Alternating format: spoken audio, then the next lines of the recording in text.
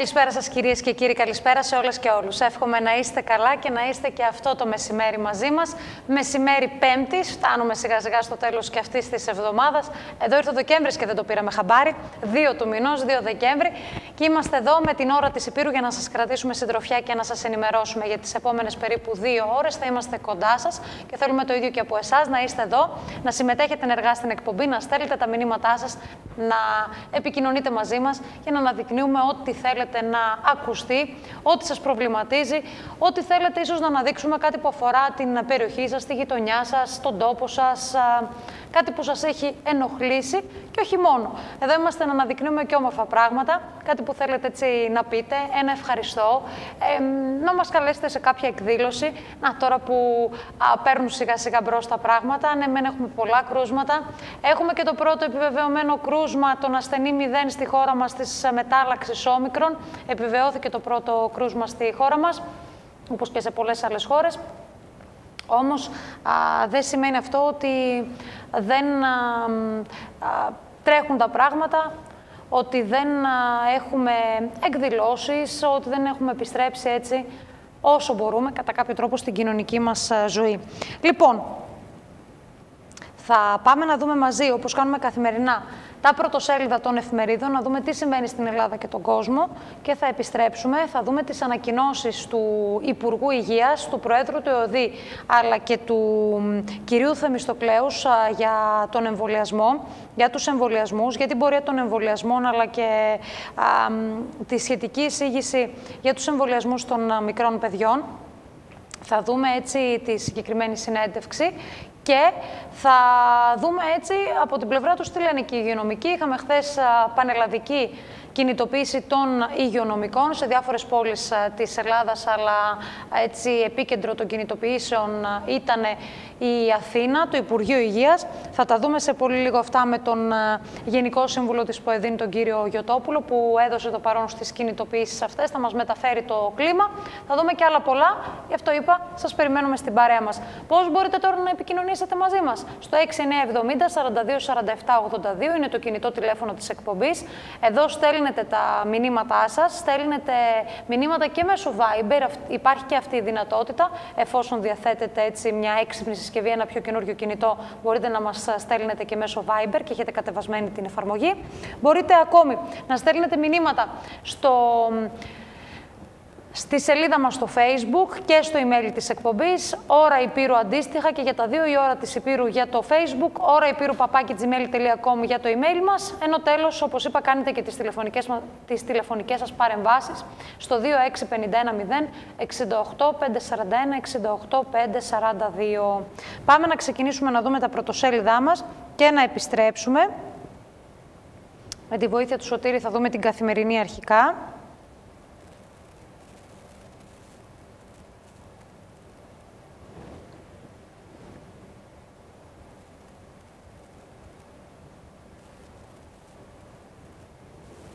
Λοιπόν, τώρα που μου άνοιξε και εμένα το αρχείο, μπορούμε να τις δούμε. Αμετανόητος ο Μπόρις Τζόνσον, με κράνος αλλά χωρίς μάσκα, αφήχθη πάνω στο ποδήλατό του ο πρωθυπουργός της Βρετανίας Μπόρις Τζόνσον σε υπαίθρια αγορά στην Downing Street. Παρά τις πιέσεις των ειδικών, ο Πρωθυπουργός δεν προτίθεται να περιορίσει τις κοινωνικές επαφές εν ώψη Χριστουγέννων, αφού όπως παραδέχτηκε ο ίδιος είχε πάρει μέρος σε πάρτι ακόμη και στη διάρκεια του περσινού lockdown. Πρόβα λαγών με Zoom και μήνυ αξιολόγηση, το τεστ στην Εθνική Σχολή Δικαστών και οι αντιδράσεις. Η αστυνομική μαφία των πλαστών εγγράφων είχε προμηθεύσει με ταυτότητα το θύμα στην Ίκαια μειωμένα πρόστιμα από την εφορία για σοβαρές παραβάσεις και σοκαριστικές αποκαλύψεις στη δίκη Maxwell. Πάμε στα νέα.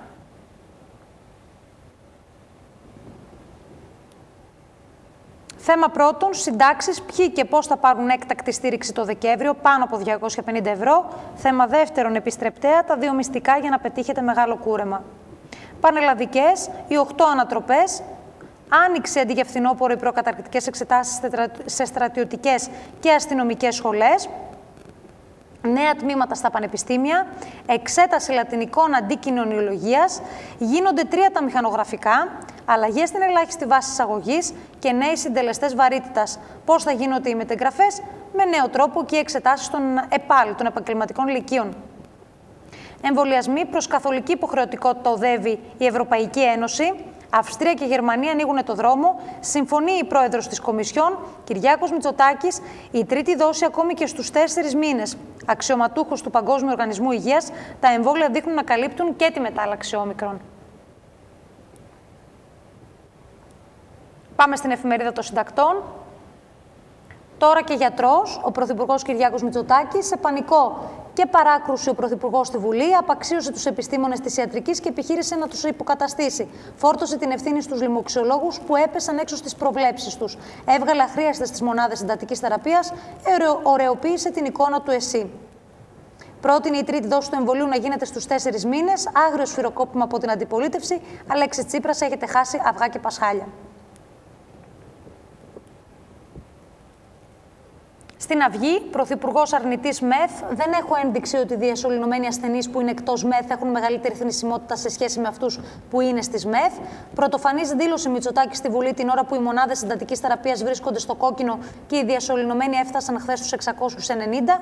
Έντονες αντιδράσεις για τα τιμωρητικά μέτρα για την επιτάχυνση του εμβολιασμού. Τσίπρας, στηρίξτε επιτέλους το Εθνικό Σύστημα Υγείας. Ο αυταρχισμός του Μητσοτάκη είναι το τελευταίο στάδιο της αποτυχίας. Καταγγελία Κόλαφος επαναπροώθησαν και διερμηνέα της Frontex, έκθετη χώρα από δημοσιεύματα για κακοποιήσεις και παράνομες επαναπροωθήσεις μεταναστών. Πανδημία συναγερμός για την παραλλαγή όμικρον, πρωτοβουλίες για μια παγκόσμια υγειονομική συνθήκη, υποεδίν στους δρόμους, πορεία διαμαρτυρίας για τη δημόσια υγεία.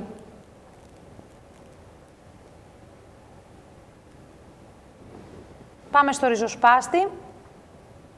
Κατάργηση του νόμου Βρούτσι Αξιόγλου, επαναφορά 13ου-14ου μισθού και σύνταξης. Τροπολογίες του ΚΚΕ στη Βουλή για τη στήριξη του λαϊκού εισοδήματος. Το ΚΚΕ επανέφερε στη Βουλή βασικά αιτήματα των συνδικάτων για κατάργηση των μνημονιακών νόμων που διατηρούν σε πλήρη ισχύ τόσο η σημερινή κυβέρνηση όσο και η προηγούμενη του ΣΥΡΙΖΑ. Η Νέα Δημοκρατία πέριψε τις τροπολογίες, τσιμουδιά από ΣΥΡΙΖΑ, Κινάλ και Μέρα 25. Κορονοσύλιο στους ανεμβολίας του άνω των 60, ανοίγουν επικίνδυνοι δρόμοι για νέα χαράτσια. Κουκουέ, αντί για μέτρα πρόληψης της θεραπείας με ευθύνη του κράτους, στρώνεται το έδαφος για περαιτέρω ανταποδοτικότητα στην παροχή υπηρεσιών υγείας για όσους θεωρούνται ότι δεν τηρούν υπεύθυνη στάση. Ο ελεύθερος τύπος λέει ένστολο κύκλωμα ξέπλαινε κακοποιούς. Πουλούσαν πλαστά έγγραφα σβήνοντας το ποινικό παρελθόν των πελατών. Ταρίφ από 30.000 έως και 50.000 ευρώ για έκδοση ταυτοτήτων διαβατηρίων αδειών οδήγησης. Συνελήφθησαν 9 αστυνομικοί, κατηγορούνται άλλοι 25.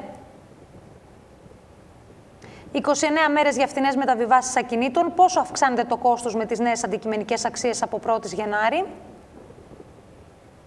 Αντίστροφη μέτρηση για τον υποχρεωτικό εμβολιασμό, πάνω από 20.000 ραντεβού, άνω των 60 ετών σε μία ημέρα. Τι προβλέπει τροπολογία για τα πρόστιμα και τις εισπράξεις;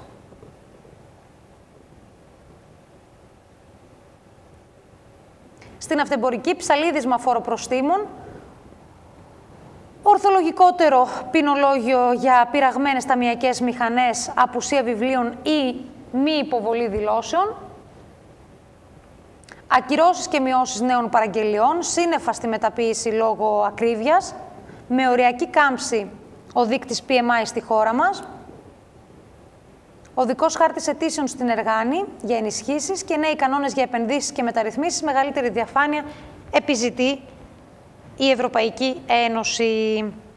Λοιπόν, αυτά σε ό,τι αφορά τα πρωτοσέλιδα. Πάμε να ξεκινήσουμε βλέποντας το τι δήλωσαν ο Υπουργός Υγείας, ο κύριος Πλεύρης, ο πρόεδρος του ΕΟΔΗ και ο υπεύθυνος για την πορεία των εμβολιασμών στη χώρα μας, έτσι, ο κύριος Θεμιστοκλέους, είναι ο άνθρωπος που έχει να κάνει με το κομμάτι της πρόληψης και της πρωτοβάθμιας υγείας. Λοιπόν, πάμε να δούμε τι υπόθηκε στη συνέντευξη, τι ανακοίνωσαν. Έχουμε και τον πρώτο ασθενή, όπως έλεγα νωρίτερα, στη χώρα μας που νοσεί από την παραλλαγή, τη μετάλλαξη, πείτε το όπως θέλετε, όμικρον την μετάλλαξη αυτή της COVID-19. Οπότε πάμε να δούμε τι υπόθηκε. Έχουμε την, την εξειδίκευση των μέτρων, αλλά τι είπαν επίσης για κρούσματα και εμβολιασμούς.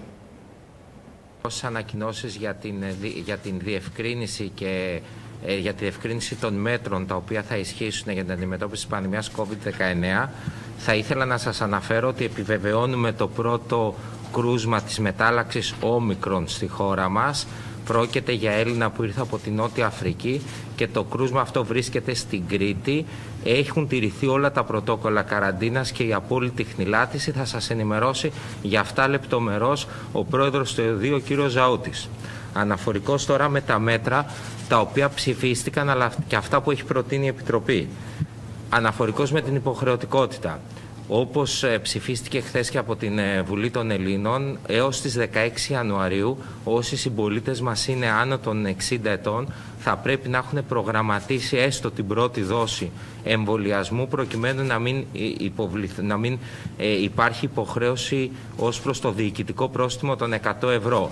Θα συσταθούν ειδικές επιτροπές όπως έγινε και με την υποχρεωτικότητα όταν θεσπίστηκε για τους υγειονομικούς προκειμένου να εξετάσουν αιτήσεις οι οποίες δικαιολογούν τα άτομα αυτά για υγειονομικούς λόγους να μην ε, εμβολιαστούν. Άρα θα υπάρξει ενημέρωση στην πορεία για το πώς θα υποβληθούν αιτήσεις και πότε θα εξεταστούν. Ε, το μέτρο αυτό τίθεται σε εφαρμογή από 16 Ιανουαρίου και από εκεί και πέρα για κάθε μήνα θα υπάρχει διοικητικό πρόστιμο 100 ευρώ και μόνο αν το άτομο προβεί στην πρώτη δόση ε, έως τις 16 Ιανουαρίου δεν θα υποβάλλεται σε αυτό το διοικητικό πρόστιμο. Παράλληλα, με τον νόμο αυτόν δίνεται η δυνατότητα στον Υπουργό Υγείας να επεκτείνει το μέτρο και για όσα γίνουν 60 ετών από την 1η Ιανουαρίου του 2022 και μετά. Δεύτερο μέτρο, το οποίο θα εφαρμοστεί από την επόμενη εβδομάδα και δεν έχει χαρακτηριστικά υποχρεωτικότητας, είναι ότι εν ώψη των εορτών θέλουμε να έχουμε την καλύτερη δυνατή επιδημιολογική εικόνα του πληθυσμού και γι' αυτό θα δοθεί δωρεάν ένα self-test σε όλους τους ενήλικους πολίτες προκειμένου να εξεταστούν, να δούμε πώς είναι η κατάσταση σε σύνολο των κρουσμάτων επιδημιολογικά. Είναι πάρα πολύ σημαντικό να συμμετάσχουν όλοι οι συμπολίτες μας, εμβολιασμένοι και ανεμβολίαστοι, σε αυτόν τον γενικό έλεγχο του πληθυσμού που θα είναι δωρεάν, ώστε το πρώτο τεστ θα γίνει την πρώτη βδομάδα ε, του, από τις 6 μέχρι τις 11 Δεκεμβρίου. Θα λαμβάνουν οι πολίτες το self-test θα μπορούν να βλέπουν την κατάσταση στην οποία βρίσκονται με αποτέλεσμα όσοι νοσούν και τεθούν σε καραντίνα να μπορούν να είναι υγιείς τα Χριστούγεννα. Συστήνεται στην περίοδο των Χριστουγέννων να γίνονται επιπλέον τεστ ακόμα και από τους εμβολιασμένους πριν από τις ε, ε, εκδηλώσεις οι οποίες θα υπάρξουν ειδικά τις ε, μέρες των εορτών και αυτό το πρόγραμμα που σας λέω με τον έλεγχο του πληθυσμού θα γίνει πάλι και τη βδομάδα μετά τις εορτές ώστε να έχουμε μια πλήρη επιδημιολογική εικόνα όλου του πληθυσμού. Λεπτομέρειες και για αυτό το πρόγραμμα θα σας πει ο πρόεδρος του ΕΟΔΙΟ κ. Ζαούτης.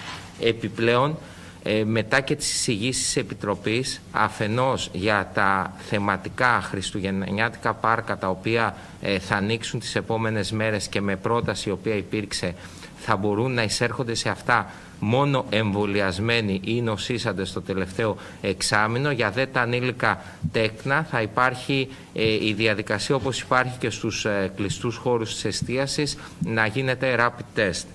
Ε, επιπλέον από την εφαρμογή από, μετά την πρόταση της Επιτροπής και με την κία που θα εκδοθεί προκειμένου να υπάρχει πιστοποιητικό νόσησης δεν θα αρκεί το rapid test, θα πρέπει να γίνεται PCR μοριακός έλεγχος. Όταν κάποιος είναι θετικός είτε με self-test είτε με rapid μπορεί να μπαίνει στην καραντίνα, αλλά για να μπορεί να έχει πιστοποιητικό νόσησης θα χρειάζεται να κάνει PCR. Αυτό είναι ένας καλύτερος έλεγχος για αυτούς που νοσούν, να ξέρουμε μέσω του PCR ότι έχει δηλωθεί ότι έχουν ε, νοσήσει με COVID.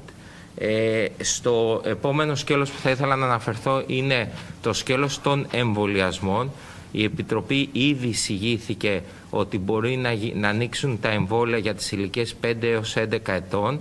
Ε, η συγκεκριμένη πλατφόρμα θα τεθεί σε εφαρμογή μόλις θα έχουμε την παραλαβή των εμβολίων για αυτές τις ηλικίες, γιατί είναι διαφορετικά εμβόλια από αυτά που δίνονται στον γενικό πληθυσμό ως προς την δοσολογία. Ενώ αντίστοιχα έχει τεθεί και στην Επιτροπή το ερώτημα από την ε, κυβέρνηση προκειμένου να υπάρξει σύντμηση του χρόνου του εξαμήνου για να γίνει η ενισχυτική δόση και να αυτή η δόση να γίνεται στο τετράμινο, ε, το οποίο είναι υποσυζήτηση και εδώ πέρα είναι ο Γενικός Γραμματέας, ο κύριος Μάριος Εμιστοκλούς, που θα σας ενημερώσει γενικώς για τους εμβολιασμούς, αλλά και για την επιχειρησιακή δυνατότητα να μπορέσουμε να υποστηρίξουμε, εάν και εφόσον ανοίξει σε νωρίτερο χρονικό στάδιο η δυνατότητα του εμβολιασμού, να μπορέσουμε να υποστηρίξουμε ε, τον πληθυσμό με τα συγκεκριμένα ραντεβού που θα ε, οριστούν. Ε, ολοκληρώνοντας, ε, θέλω να σας αναφέρω και δίνοντας το λόγο στον πρόεδρο του ΕΔΟΥ, τον κύριο Ζαούτη, ότι ήταν αναμενόμενο και περιμέναμε ότι θα υπάρξει και στη χώρα μας η μετάλλαξη όμικρον από τη στιγμή που έχει υπάρξει και στις ε, υπόλοιπες χώρες. Παρακολουθούμε, περιμένουμε να γίνει οι πλήρεις αναφορές από τον Παγκόσμιο Οργανισμό Υγείας για το πώς αντιμετωπίζουμε και τη συγκεκριμένη μετάλλαξη, αλλά η χώρα μας στηρεί όλα τα πρωτόκολλα και επομένως μπορούμε να διαχειριστούμε με μεγάλη ασφάλεια και αυτή τη μετάλλαξη του κορονοϊού. Ε, καλημέρα και από μένα. Σήμερα το πρωί επιβεβαιώθηκε, όπως ακούσατε, το πρώτο κρούσμα κορονοϊού από τη μετάλλαξη όμικρον. Ο συμπολίτης μας αυτός ε, είχε άφηξη στην Ελλάδα στις 26 ε, Νοεμβρίου το πρωί. Έγινε rapid test στο αεροδρόμιο, το οποίο rapid test ήταν αρνητικό ε, ε, την επόμενη μέρα είχε ήπια συμπτώματα και παραμένει με ήπια συμπτώματα αυτή τη στιγμή. Έκανε rapid test κάθε μέρα ε, που ήταν ε, αρνητικό. Στις 29 Νοεμβρίου έγινε θετικό το rapid test και προχωρήσαμε σε έλεγχο με PCR. Το PCR ήταν ύποπτο για τη μετάλλαξη όμικρον χωρίς επιβεβαίωση και προχωρήσαμε σε έλεγχο ε, για τα γονίδια της μετάλλαξης όμικρον, ε, την οποία σήμερα το πρωί επιβεβαιώσαμε. Ο συμπολίτης ε, μένει σε καραντίνα μαζί με όλες τις επαφές. Έχει γίνει η χνηλάτιση των επαφών, έχει γίνει τεστ σε όλες τις επαφές. Οι επαφές μένουν αρνητικοί αυτή τη στιγμή και είναι υποστενή παρακολούθηση του ΕΟΔΗ και της πολιτικής προστασίας. Ε, όπως σας ανέφερε ο Υπουργός, ήταν θέμα χρόνου μέχρι να εντοπίσουμε και εμείς στη χώρα μας τη μετάλλαξη όμικρον. Είδαμε πως απλώθηκε πολύ γρήγορα σε διάφορα κράτη της ε, Ευρωπαϊκής Ένωσης. Ε, τι γνωρίζουμε αυτή τη στιγμή για τη μετάλλαξη όμικρον; Τα κύρια ερωτήματα που πρέπει να ε, απαντηθούν είναι πρώτον, εάν υπάρχει αυξημένη μεταδοτικότητα. Αυτή τη στιγμή δεν γνωρίζουμε ε, όσο αφορά τη μεταδοτικότητα της συγκεκριμένης μετάλλαξης. Υπάρχουν δεκδομένα από την Νότια Αφρική πως πιθανόν να έχει αυξημένη μεταδοτικότητα, αλλά είναι σε ένα πλαίσιο που δεν υπάρχει πάρα πολύ από το στέλεχος Δέλτα. Και έτσι δεν μπορούμε να βγάλουμε συμπεράσματα όσο αφορά τη μεταδοτικότητα. Η δεύτερη ερώτηση αφορά την οσιρότητα και εκεί ακόμα υπάρχουν πολλά κενά στις γνώσεις μας. Ε, οι αναφορές που βγαίνουν από γιατρούς στην Νότια Αφρική περιγράφουν ένα σύνδρομο με πολύ πιο ήπια συμπτώματα. Η τελευταία και σημαντικότερη ερώτηση μάλλον είναι εάν καλύπτουν τα φάρμακα και τα εμβόλια ε, αυτή τη μετάλλαξη. Και εκεί αναμένονται περισσότερες πληροφορίες, αλλά γνωρίζοντας προηγούμενα εμβόλια και προηγούμενους ιούς ε, εκτός του κορονοϊού ε, πως το εμβόλιο πολύ πιθανόν να παρέχει ανοσία και σε αυτή τη μετάλλαξη το πόσο ανοσία θα παρέχει δεν είναι ξεκάθαρο ακόμα. Γι' αυτό το εμβόλιο παραμένει το κύριο όπλο που έχουμε και απέναντι σε αυτή την καινούργια μετάλλαξη και προτείνουμε σε όλους να εμβολιαστούν και σε όλοι που μπορούν να εμβολιαστούν με την τρίτη δόση να προχωρήσουν ε, στον εμβολιασμό. Πέρα από τον εμβολιασμό γνωρίζουμε πως ένα εργαλείο που είχαμε για να πολεμήσουμε τον κορονοϊό από την αρχή της πανδημίας είναι το testing. Αυτό το φθινόπωρο είδαμε στην Ελλάδα πως η χρήση του self-test στα σχολεία επέτρεψαν τα σχολεία να λειτουργήσουν με ασφάλεια και δεν είδαμε μεγάλες σειροές. Ε, τα δεδομένα που έχουμε από τον ΕΟΔΗ δείχνουν πως τα παιδιά τα προλάβαμε πριν ε, αποκτήσουν συμπτώματα σε μια φάση ε, ασυμπτωματική σε πολύ περισσότερο ποσοστό από τους ενήλικες. Σκεφτόμενος αυτό το τεστ και τις ερχόμενες γιορτές και την επιδημιολογική εικόνα αυτή τη στιγμή, όπως σας ανέφερε ο, ο Υπουργός, θα προχωρήσουμε σε μία εβδομάδα από δωρεά self-test για όλους τους ενήλικες πολίτες στην Ελλάδα. Πραγματικά σας καλώ όλοι μαζί αυτή τη βδομάδα να κάνουμε ένα τεστ να ελέγξουμε την πανδημία. Εμβολιασμένοι, μη εμβολιασμένοι, δεν είναι υποχρεωτικό αυτό το τεστ, αλλά πραγματικά τη θεωρώ μια προσπάθεια που όλοι μαζί μπορούμε να κάνουμε. Είναι εύκολη, είναι δωρεά, να προσπαθήσουμε να μειώσουμε ε, την επιδημιολογική καμπύλη αυτή τη στιγμή και να προχωρήσουμε σε ασφαλές γιορτές. Όσο αφορά τις γιορτές, και εκεί να θυμηθούμε πάντα τα μέτρα ασφάλειας που τηρούμε από την αρχή της πανδημίας όσο περισσότερο μπορούμε όταν μαζευόμαστε τα Χριστούγεννα και τις γιορτές. Και εκεί η σύσταση είναι εάν μπορούμε και αν θέλετε να κάνετε ένα self-test όταν μαζευόμαστε να γιορτάσουμε όλοι μαζί για να είμαστε όλοι ασφαλές. Μετά τις γιορτές θα επαναληφθεί η δωρεά self-test τη βδομάδα που ξεκινάει από 3 ε, Ιανουαρίου ε, για να ξανά ελεγχθούμε μετά από τις γιορτές και να προχωρήσουμε με ασφάλεια ε, στον επόμενο μήνα. Σας ευχαριστώ πολύ.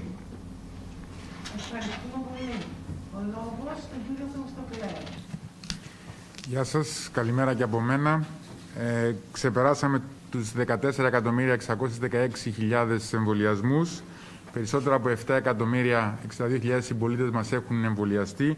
Αυτό αντιστοιχεί σε ποσοστό 67,3% επί του γενικού πληθυσμού και 76,9% του ενήλικου πληθυσμού. Επίσης, σε σχέση με την ολοκλήρωση του εμβολιασμού, περισσότεροι από 6.108.000 συμπολίτες μας έχουν, έχουν ολοκληρώσει τον εμβολιασμό τους. Αυτό αντιστοιχεί σε ποσοστό 63,3% επί του γενικού πληθυσμού και 72,7% επί του ενήλικου πληθυσμού. Δίνω λίγο τα στατιστικά στοιχεία σε σχέση με τις ηλικιακές ομάδες. Η ηλικιακή ομάδα 85 και άνω έχει εμβολιαστεί το 77,3%, 80-84 το 76%, 75-79 88,2%, 70-74 82,8%, 65-69 85,6%, 60-64 82,6%, 55-59 81,7%, 50-54 79,3%, 45-49 77,6%, 40-44 74,4%, 35-39 68,8%, 30-34 70,1%, 25-29 70,4%, 18-24 67,5, 15-17 45,9 και 12-14 το 30%. Σε σχέση με τη διενέργεια αναμνηστικής δόσης έχουν ήδη εμβολιαστεί σχεδόν 1.500.000 συμπολίτες μας και έχουν κλείσει ραντεβού άλλες 900.000, ένα ποσοστό 70% επί των δικαιούχων. Τις τελευταίες δύο μέρες μετά την ανακοίνωση έχουν μια σημαντική αύξηση στα ραντεβού και σε σχέση με τα ραντεβού πρώτης δόσης στους πολίτες ηλικίας άνω των 60 ετών, κλείστηκαν περισσότερο από 25.000 ραντεβού. Έτσι λοιπόν η εικόνα που διαμορφώνεται αυτή τη στιγμή είναι οι πολίτες άνω των 60 ετών που είτε δεν έχουν εμβολιαστεί είτε δεν έχουν προγραμματισμένο ραντεβού τους ανέρχεται στις 493.930 άτομα. Η δυναμικότητα εμβολιασμών του Δεκεμβρίου, ειδικά μετά τις κινήσεις που έχουμε κάνει τις τελευταίες μέρες, προσθέτοντας εμβολιαστικά κέντρα, ξεπερνάει τα 3 εκατομμύρια εμβολιασμούς. Έτσι, τον Δεκέμβριο έχουν προγραμματιστεί περίπου 1,5 εκατομμύρια ραντεβού, άρα έχουμε περισσότερα από 1,5 εκατομμύρια διαθέσιμα ε, ραντεβού και μάλιστα το επόμενο χρονικό διάστημα θα προσθεθούν και νέα εμβολιαστικά κέντρα, αυξάνοντας τη δυναμικότητα του Δεκεμβρίου. Όπως έχει ήδη αναφέρει ο Υπουργός Υγείας, η Εθνική Επιτροπή Εμβολιασμών εξετάζει το ενδεχόμενο για να μειωθεί το διάστημα της αναμνηστικής δόσης από τους 6 μήνες και εντός των επόμενων 24 ώρων θα έχουμε την απόφαση της Επιτροπής. Επιχειρησιακά, όπως έχω ήδη αναφέρει τους αριθμούς, έχουν τη δυνατότητα να στηρίξουμε αυτό και μάλιστα όλα τα άτομα τα οποία έχουν ολοκληρώσει τον εμβολιασμό τους ε, έως το τέλος Αυγούστου να μπορούν να έχουν πραγματοποιήσει την αναμνηστική δόση εντός του Ιανουαρίου, εντός του πρώτου δεκαμεθήμερου του Ιανουαρίου. Μια άλλη σημαντική παρατήρηση. Θα δώσουμε ραντεβού, προτεραιότητα στα ραντεβού της πρώτης δόσης, έτσι ώστε κάποιος ο οποίος θέλει να κλείνει ραντεβού πρώτης δόσης να μπορεί να βρίσκει εντός των επόμενων 24 ώρων σε σχέση με τα ραντεβού της αναμνηστικής δόσης που και αυτά δεν πηγαίνουν μακριά. Βλέπουμε το σύστημα, βλέπουμε τις περιοχές και όπου χρειάζεται αυξάνουμε δυναμικότητα. Για παράδειγμα, την ερχόμενη Κυριακή αυτή τη στιγμή έχουμε ανοίξει σχεδόν 100.000 ραντεβού, τα οποία τα κρατάμε για την πρώτη δόση. Έχουν κλειστεί ε, αυτή τη στιγμή 25.000 ραντεβού πρώτης δόσης. Θα βλέπουμε στο σύστημα πώς, πώς υπάρχει κίνηση και αν καλύπτονται και μάλιστα σε ένα χρονικό διάστημα πριν τα ραντεβού μπορεί να τα απελευθερώνουμε και για αναμνηστική δόση. Αυτό είναι αρκετά σημαντικό γιατί κάποιος ο οποίος έχει κλείσει ραντεβού αναμνηστικής δόσης ε, μπορεί να έρθει νωρίτερα το ραντεβού του. Αν κοιτάξει ξανά στο σύστημα, θα απελευθερώνουμε συνεχώς ραντεβού και για αναμνηστική δόση. Αυτά λοιπόν από την εξειδίκευση των ε, μέτρων και την πορεία των εμβολιασμών, αλλά και τη χρήση του τέστινγκ, έτσι το πόσο σημαντικό είναι το τέστινγκ ε, στη ζωή μας. Αυτά αναφέρθηκαν στη συγκεκριμένη συνέντευξη. Πάμε τώρα να δούμε τι λένε οι υγειονομικοί. Ο Γενικός Σύμβουλος της ΠΟΕΔΗΝ, ο κ. Χρήστος Γιωτόπουλος, είναι στην άλλη άκρη της τηλεφωνικής μας γραμμής. Χθες βρέθηκε στις κινητοποιήσεις ε, στην πρωτεύουσα. Είχαμε πανελλαδική κινητοποίηση των υγειονομικών. Καλησπέρα σας, κύριε Γιωτόπουλε. Καλησπέρα σε εσάς και τους τηλεθεατές σας. Λοιπόν, ναι, είδα, στολίσατε, θα δούμε και φωτογραφίες, στολίσατε και δέντρο έξω από το Υπουργείο.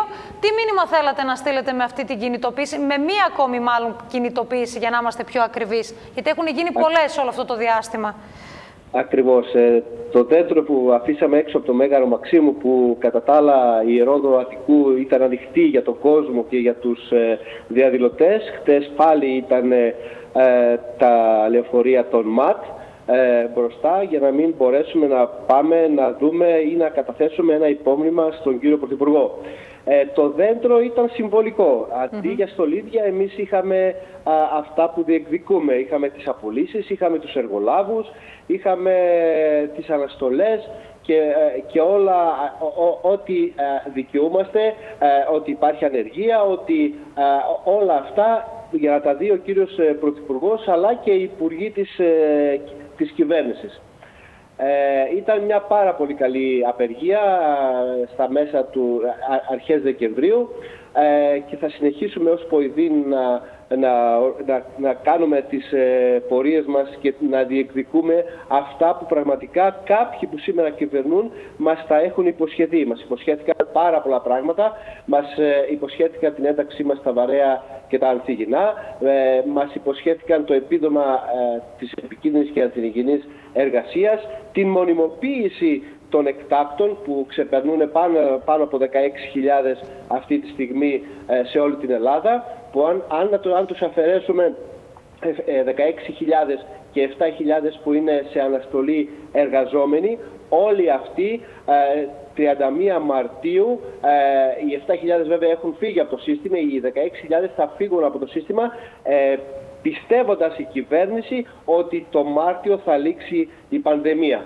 Το ίδιο πίστεψε ότι θα γίνει και το καλοκαίρι, χωρίς ε, να οργανωθεί. Ε, είχα, είχε την απαιτούμενη εμπειρία και ότι ε, για το επόμενο κύμα ε, νόμισε πως ότι ξεμπερδέψαμε και ξεμπέρδεψε αυτή και απογύμνωσε το Εθνικό Σύστημα Υγείας, έκλεισε τη ΣΜΕΘ και με στόχο αυτός ήταν η ιδιωτικοποίηση των συγχωνεύσεων.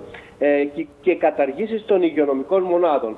Ε, το παράλογο είναι ότι χτες, ε, παρά ότι ακούμε καθημερινώς ότι στη ΣΜΕΘ ότι πεθαίνουν ε, ε, συμπολίτες μας εκτός ΜΕΘ, ο κύριος Πρωθυπουργός ε, παραδέχτηκε ότι χρειάζονται και άλλες ΜΕΘ, αλλά εγώ θα το, θα το χαρακτήριζα αρνητή τον ΜΕΘ τον κύριο Πρωθυπουργό, διότι αυτές ήταν οι δηλώσεις του ε, χτες στη Βουλή. Ήταν συνέχεια των δηλώσεων του στενού του συνεργάτη, του κύριου Σκέρτσου, ε, ότι η ανάπτυξη νέων ΜΕΘ είναι πολυτέλεια. Σας προβληματίζει το πρώτο κρούσμα της μετάλλαξης όμικρον στη χώρα, κύριε Γιωτόπουλε. Πόσο χειρότερα μπορούν να γίνουν τα πράγματα; Και βλέπουμε ότι απλώνεται έτσι ένα πέπλο απεσιοδοξίας πάνω από όλο τον κόσμο. Η Ευρώπη ετοιμάζεται για σκληρά μέτρα ε, σε διάφορες ε, μεγάλες ευρωπαϊκές ε, χώρες. Ακούμε για υποχρεωτικότητα του εμβολιασμού. Έχει πέσει και αυτό στο τραπέζι και εμείς πήραμε μία πρώτη γεύση για, με τα πρόστιμα, με, με αυτό που ουσιαστικά έτσι επικοινώνησε ο Πρωθυπουργός στις εξαγγελίες του για τα πρόστιμα όσων δεν εμβολιάζονται άνω των 60. Λοιπόν, τι μελγενέστε. Ακούστε με. Ε, τώρα, πριν ήταν η Δέλτα, τώρα θα είναι η Όμικρον αύριο θα είναι η ε ή η ζ, δεν ξέρω οποιαδήποτε. Ε, εγώ το μόνο που έχω να συστήσω ως ε, ένας άνθρωπος που δουλεύει στον χώρο της υγείας είναι ότι όλοι μας, ε, όλοι οι πολίτες θα πρέπει να εμβολιαστούν. Και με το πρώτο και με το δεύτερο και με το τρίτο και από ό,τι άκουσα μπορεί και το τέταρτο. Όλοι μας θα πρέπει να προφυλαχτούμε. Όχι για να μην κολλήσουμε. Όλοι μας αυτοί, εμείς που έχουμε κάνει εμβόλιο, φυσικά και θα κολλήσουμε. Όλοι μας θα το περάσουμε αυτό τον ιό, το κορονοϊό. Το θέμα είναι το πώς θα το περάσουμε και τι θα μας αφήσει πίσω. Διότι ένας που έχει κάνει τα εμβόλια του, κυρία Χριστοφορίδου, θα το περάσει ως μια απλή γρήπη ή με, έναν απλό, με, με ένα απλό πυρετό. Γι' αυτό θα πρέπει να καλέσουμε όλους, όλους τους πολίτες να κάνουν όλοι τα εμβόλια και το πρώτο και το δεύτερο και το τρίτο και αυτοί που έστω και έχουν μία άρνηση να πάνε να το κάνουν διότι δεν ξέρουν τι θα τους ξεμερώσει την επόμενη μέρα σε ποια μέρα σήμερα μιας και, μιας και το λέτε κύριε Γιωτόπουλο έτσι με συγχωρείτε αλλά υπάρχει μια έτσι δυσάρεστη είδηση έχει διασωληνωθεί 28χρονο συμπολίτης μας εδώ στα Γιάννα έφτασε σε πολύ ωριακή κατάσταση σε πολύ κρίσιμη κατάσταση στο νοσοκομείο Βλέπουμε ότι νοσούν και νέοι ε, άνθρωποι. Ανεμβολίαστος. Ανεμβολίαστος. Δεν έχουμε στοιχεία, αλλά για να έφτασε σε σημείο 28 ετών να α, διασωληνωθεί, φανταζόμαστε. Ακριβώς. Ε, αυτός ο ιός δεν κοιτάει ηλικίες. Ε, κοιτάει το πώς θα μας βρει ε, αναλόγως το τι ανοσοποιητικό σύστημα έχει ο καθένας μας δεν είναι ίδιος, όπως και τα αντιγρυπτικά εμβόλια θα πρέπει να τα κάνουμε, όπως και τα εμβόλια για τον πνευμονιόκοκο που θα πρέπει να τα κάνουμε, όπως κάναμε όλα τα εμβόλια, έτσι θα πρέπει να κάνουμε, ε, να κάνουμε όλα τα εμβόλια, τουλάχιστον να θωρακιστούμε ώστε να μην νοσήσουμε και να, να μην νοσήσουμε και να χρειαστούμε ΜΕΔ. Γιατί όπως τα είπαμε και πριν, η ΜΕΔ δεν, τις, δεν θα τις βρούμε. Ξέρετε ότι στο, στο Πανεπιστημιακό Νοσοκομείο είχαμε 8 ε, και ανοίγουν και οι υπόλοιπες και είναι γεμάτες. Οι τρεις κλινικές είναι γεμάτες από ε, και το 95%, 99% θα έλεγα είναι από ανεμβολίαστος. Άρα θα πρέπει να προσέχουμε μάσκες, ε, υγιεινή και εμβόλια. Εγώ αυτό που έχω να πω και, και έχω να πω επίσης στους ε, κυβερνούντες διότι χτες που πήγαμε να τους βρούμε στην Αθήνα δυστυχώς ούτε ο Υπουργός Οικονομικών ε, αλλά ούτε και ο Υπουργός Υγείας ε, ήταν, ε, μας δέχτηκαν. Ε, μας είπαν ότι θα κλείσουν κάποιο άλλο ραντεβού για να μιλήσουμε αλλά αυτό που λέγεται και αυτό που λέγεται καθημερινώς ότι θα περικόψουν και ακόμη και τα επίδομα, ε, το, το, επίδομα το ανθυγινό από ανθρώπους ε, που πραγματικά είναι μέσα στα αίματα, ε, από ανθρώπους που έχουν τρυπηθεί από μολυσμένες βελόνες, από, από συναδέλφους που έχουν πέσει θύματα ξυλοδαρμού, ε, από ανθρώπους που έχουν λείψει από, τα, από, από βράδια, από, από νύχτα από το σπίτι τους και έχουν νιώσει, συνάδελφοι, έχουν νιώσει το φόβο της, της μετάδοσης του COVID τη στιγμή της περίθαλψης ενός ασθενή και κάποιοι ε, λαλίστατοι θα έλεγα, καρικοκένταυροι, αυτοί ατσαλάκωτοι θα τους έλεγα, που, αυτοί με, που είναι μέλη κάποιων επιτροπών με το αζημίωτο φυσικά, θέλουν να περικόψουν ακόμα και το ανθυγινό επίδομα. Δεν μιλάμε για το επίδομα το βαρέα και το ανθυγινό επίδομα, κυρία Χριστοφορίδου, που αυτό το επίδομα εδώ και 10 μήνες ο κύριος Μπεχράκης και ακόμα βρίσκεται στο, στα σιτάρια του Υπουργείου Εργασίας έλεος πια. Τι πρέπει να γίνει για να μπορέσουν αυτοί οι άνθρωποι, να μπορέσουμε εμείς ως υγειονομικοί, όλο το υγειονομικό κίνημα, η πρόνοια να ενταχθεί στα βαρέα και ανθυγινά επαγγέλματα. Ε, μέχρι στιγμής βλέπουμε μια κοροϊδία. Ε, ε, σε άλλη σύνδεση που είχαμε ε, πριν ένα μήνα περίπου, είχαμε ακούσει και σας είχα πει για 4.900 προσφύσεις που εξήγηλε εδώ και μήνες ο κύριος Πρωθυπουργός και ο Υπουργός Υγείας, ακόμη δεν έχει καταθετηθεί ε, αυτή η προκήρυξη ώστε να, αρχίσει, να αρχίσουν να μπαίνουν στο σύστημα. Και στο σύστημα δεν θα μπαίνουν, διότι η, η κυβέρνηση αυτή το, αυτό που πιστεύει είναι, είναι τα ΣΔΙΤ, είναι ε, τα νομικά πρόσωπα ιδιωτικού δικαίου θέλει να κάνει τα νοσοκομεία και θα το έκανε κυρία Χριστοφορίδου, αλλά δυστυχώς ε, προέκυψε ο κορονοϊός ε, και, αλλά εμείς ως Ποηδίν θα είμαστε στους δρόμους Ε, δεν θα επιτρέψουμε ούτε την επιστροφή των εργολάβων, αλλά θα, θα παλέψουμε ώστε να ε, μονιμοποιηθούν και η, το έκτακτο προσωπικό, το επικουρικό προσωπικό, όλο το προσωπικό με, με διάφορες σχέσεις εργασίας, ώστε να παραμείνει στα νοσοκομεία. Ε, όπως και οι καθαρίστες θέλουμε να παραμείνουν. Έδωσε μια παράταση χθες ε, μέχρι 31 Μαρτίου. Μέχρι εκεί πιστεύει η κυρία Χριστοφορίδου ότι θα πάει ο ιός. Δεν καταλαβαίνουν. Κύριε Γιωτόπουλε, πόσο θα συνεχιστεί όμως αυτή η κατάσταση; ώστε να πάμε θα υπάρχει και πέμπτο κύμα, κυρία Χριστοφορίδου.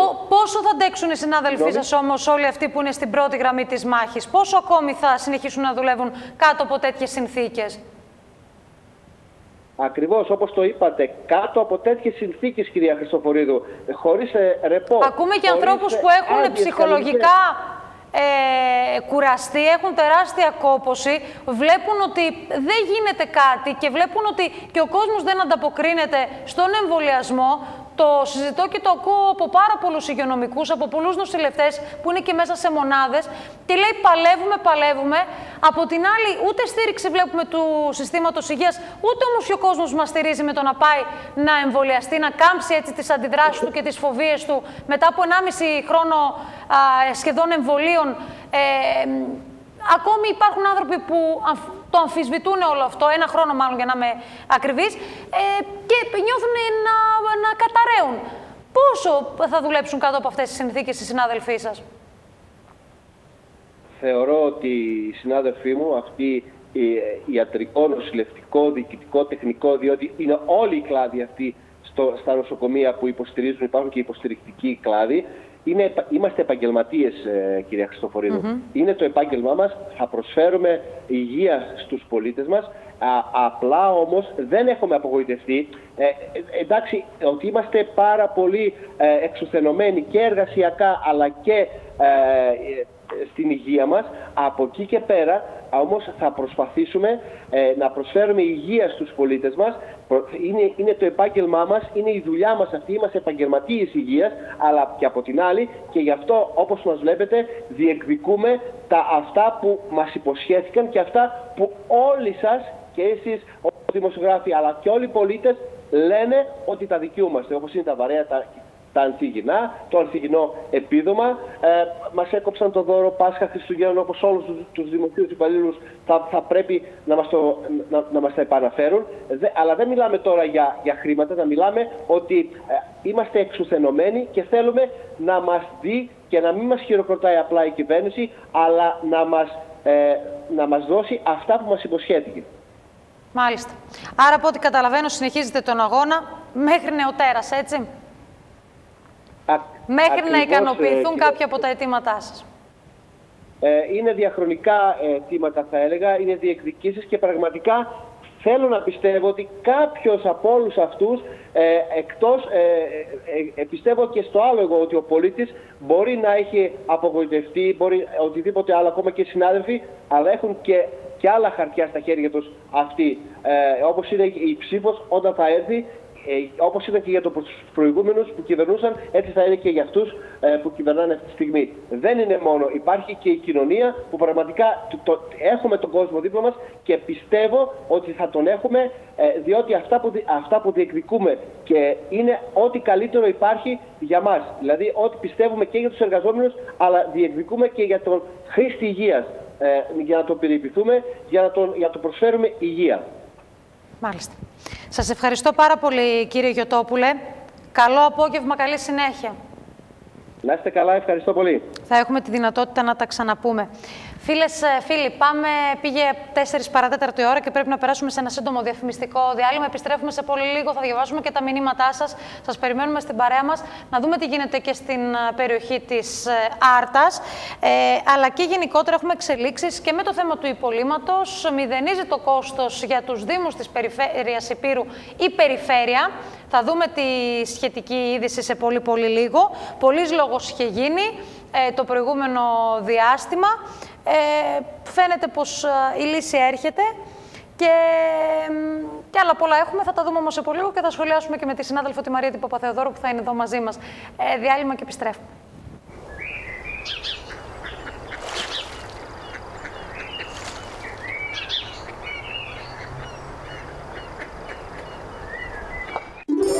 Τις φετινές γιορτές ας αφήσουμε πίσω μας ό,τι δύσκολο ζήσαμε και ας ταξιδέψουμε με ασφάλεια στους ωραιότερους προορισμούς με το Παμβό της Travel. Παραμυθένια Χριστούγεννα στην Πράγα. 7 ημέρες.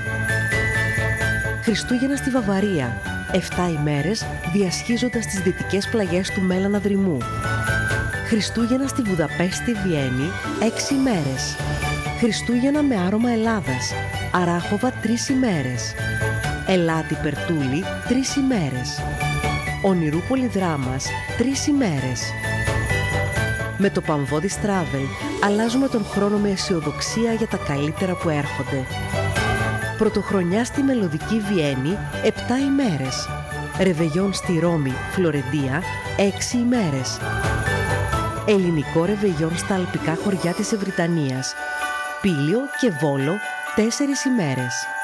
Πρωτοχρονιά στην Αριδαία 3 ημέρες. Τα Θεοφάνεια ταξιδεύουμε. Πάντοβα, Βερόνα, Μιλάνο 5 ημέρες. Πάτρα, Ναύπλιο, Τρίκαλα, Κορινθίας 3 ημέρες. Και για τους λάτρεις του σκι και όχι μόνο, τρεις αναχωρήσεις για Μπάνσκο, 23 και 30 Δεκεμβρίου και 6 Ιανουαρίου. Με την εγγύηση και την οργάνωση του Παμβότης Travel και αυστηρά υγειονομικά πρωτόκολλα που θα κάνουν το ταξίδι μας μια ασφαλή και ξεχωριστή εμπειρία. Ζητήστε μας τα αναλυτικά προγράμματα Ναπολέο το Ζέρβα 79 και στο τηλέφωνο 26510 34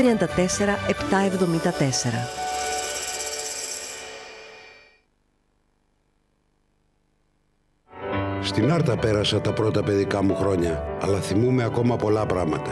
Οι εκκλησίες, οι εικόνες μου προκαλούσαν δέος και με μάγευαν.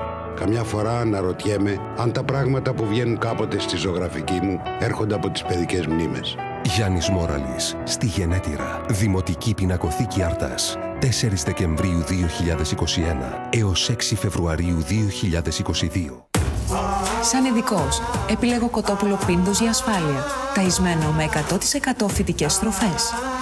Σαν μητέρα, επιλέγω πίντος για φρεσκάδα. Σε νέα συσκευασία, με προστατευτική ατμόσφαιρα. Σαν Ελληνίδα, επιλέγω πίντος για νοστιμιά. Με αναγραφή ταυτότητας προέλευσης από ορεινή φάρμα πίντος. Επιλέγω κοτόπουλο πίντος για τριπλή σιγουριά. Εσείς; Για τριπλή σιγουριά, πρώτη η πίνδος. Τα νόστιμα ορεινά κοτόπουλα τώρα με ταυτότητα προέλευσης. Πόσα είναι τα βασικά χρώματα; Πόσες είναι οι βασικές αποχρώσεις τους; Πόσες είναι οι τεχνικές αποτυπώσει τους; Πώς επιλέγουμε το κατάλληλο χρώμα για κάθε χώρο του σπιτιού; Επειδή ο κόσμος δεν είναι ασπρόμαυρος, πολλά τα ερωτήματα, μία η επιλογή. Χρώμο επιλογή, Πολύβιο Καρά. Εδώ βρίσκει την απάντησή του κάθε ερώτημα, τη λύση του κάθε πρόβλημα. Η βαφή εναρμονίζεται με το περιβάλλον. Η τεχνοτροπία αποπνέει φινέτσα. Χρώμο επιλογή, Πολύβιο Καρά. Δημιουργείς. Επισκευάζεις. Αναπαλαιώνεις. Ανακαινίζεις. Με τη βοήθεια και την καθοδήγηση έμπειρων τεχνητών. Χρώμο επιλογή Πολύβιο Καράς. Γεωργίου Παπανδρέου 71. Τηλέφωνο 26510 21443. Με άνετο πάρκινγκ για πιο εύκολες αγορές. Επισκεφτείτε μας στην ηλεκτρονική μας σελίδα www.χρωμοεπιλογή.gr. Χρωμοεπιλογή Πολύβιο Καράς. Η επιλογή είναι δική σου.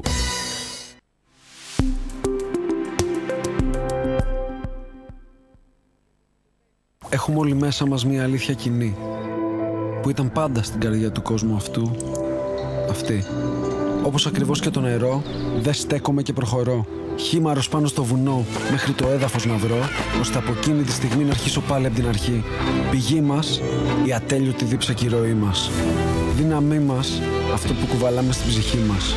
Είναι ο άνθρωπος νερό και μοιάζει τόσο φυσικό το να κυλάμε. Μαζί να προχωράμε. Δίκος, δύναμή μας, η ροή μας. Όταν οι επιθυμίες για τελειότητα δεν περιορίζονται. Η ανάγκη για πείρα και εξειδίκευση είναι αδιαπραγμάτευτη. Η επιλογή είναι μία. Νικόλαος Διάκος ΑΕ.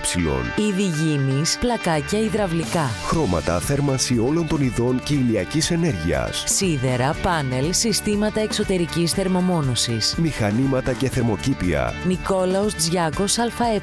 Προτάσεις υψηλής αισθητικής για το μπάνιο. Με υπογραφές των καλύτερων εταιριών. Αντιπροσώπευση δημοσίευση από το 1968. Νικόλαος Τζιάκος ΑΕ. Στα Ιωάννινα, 7ο χιλιόμετρο Ιωαννίνων Αθηνών. Τηλέφωνα 26510 85 185 186 και 187. Και στη Φιλιππιάδα, Σόλωνος Γκίκα 50. Τηλέφωνα 26830 22 588 και 22 852. Και στο ίντερνετ www.giakos.gr Νικόλαος Τζιάκος ΑΕ. Υπογράφει χώρους ποιότητας.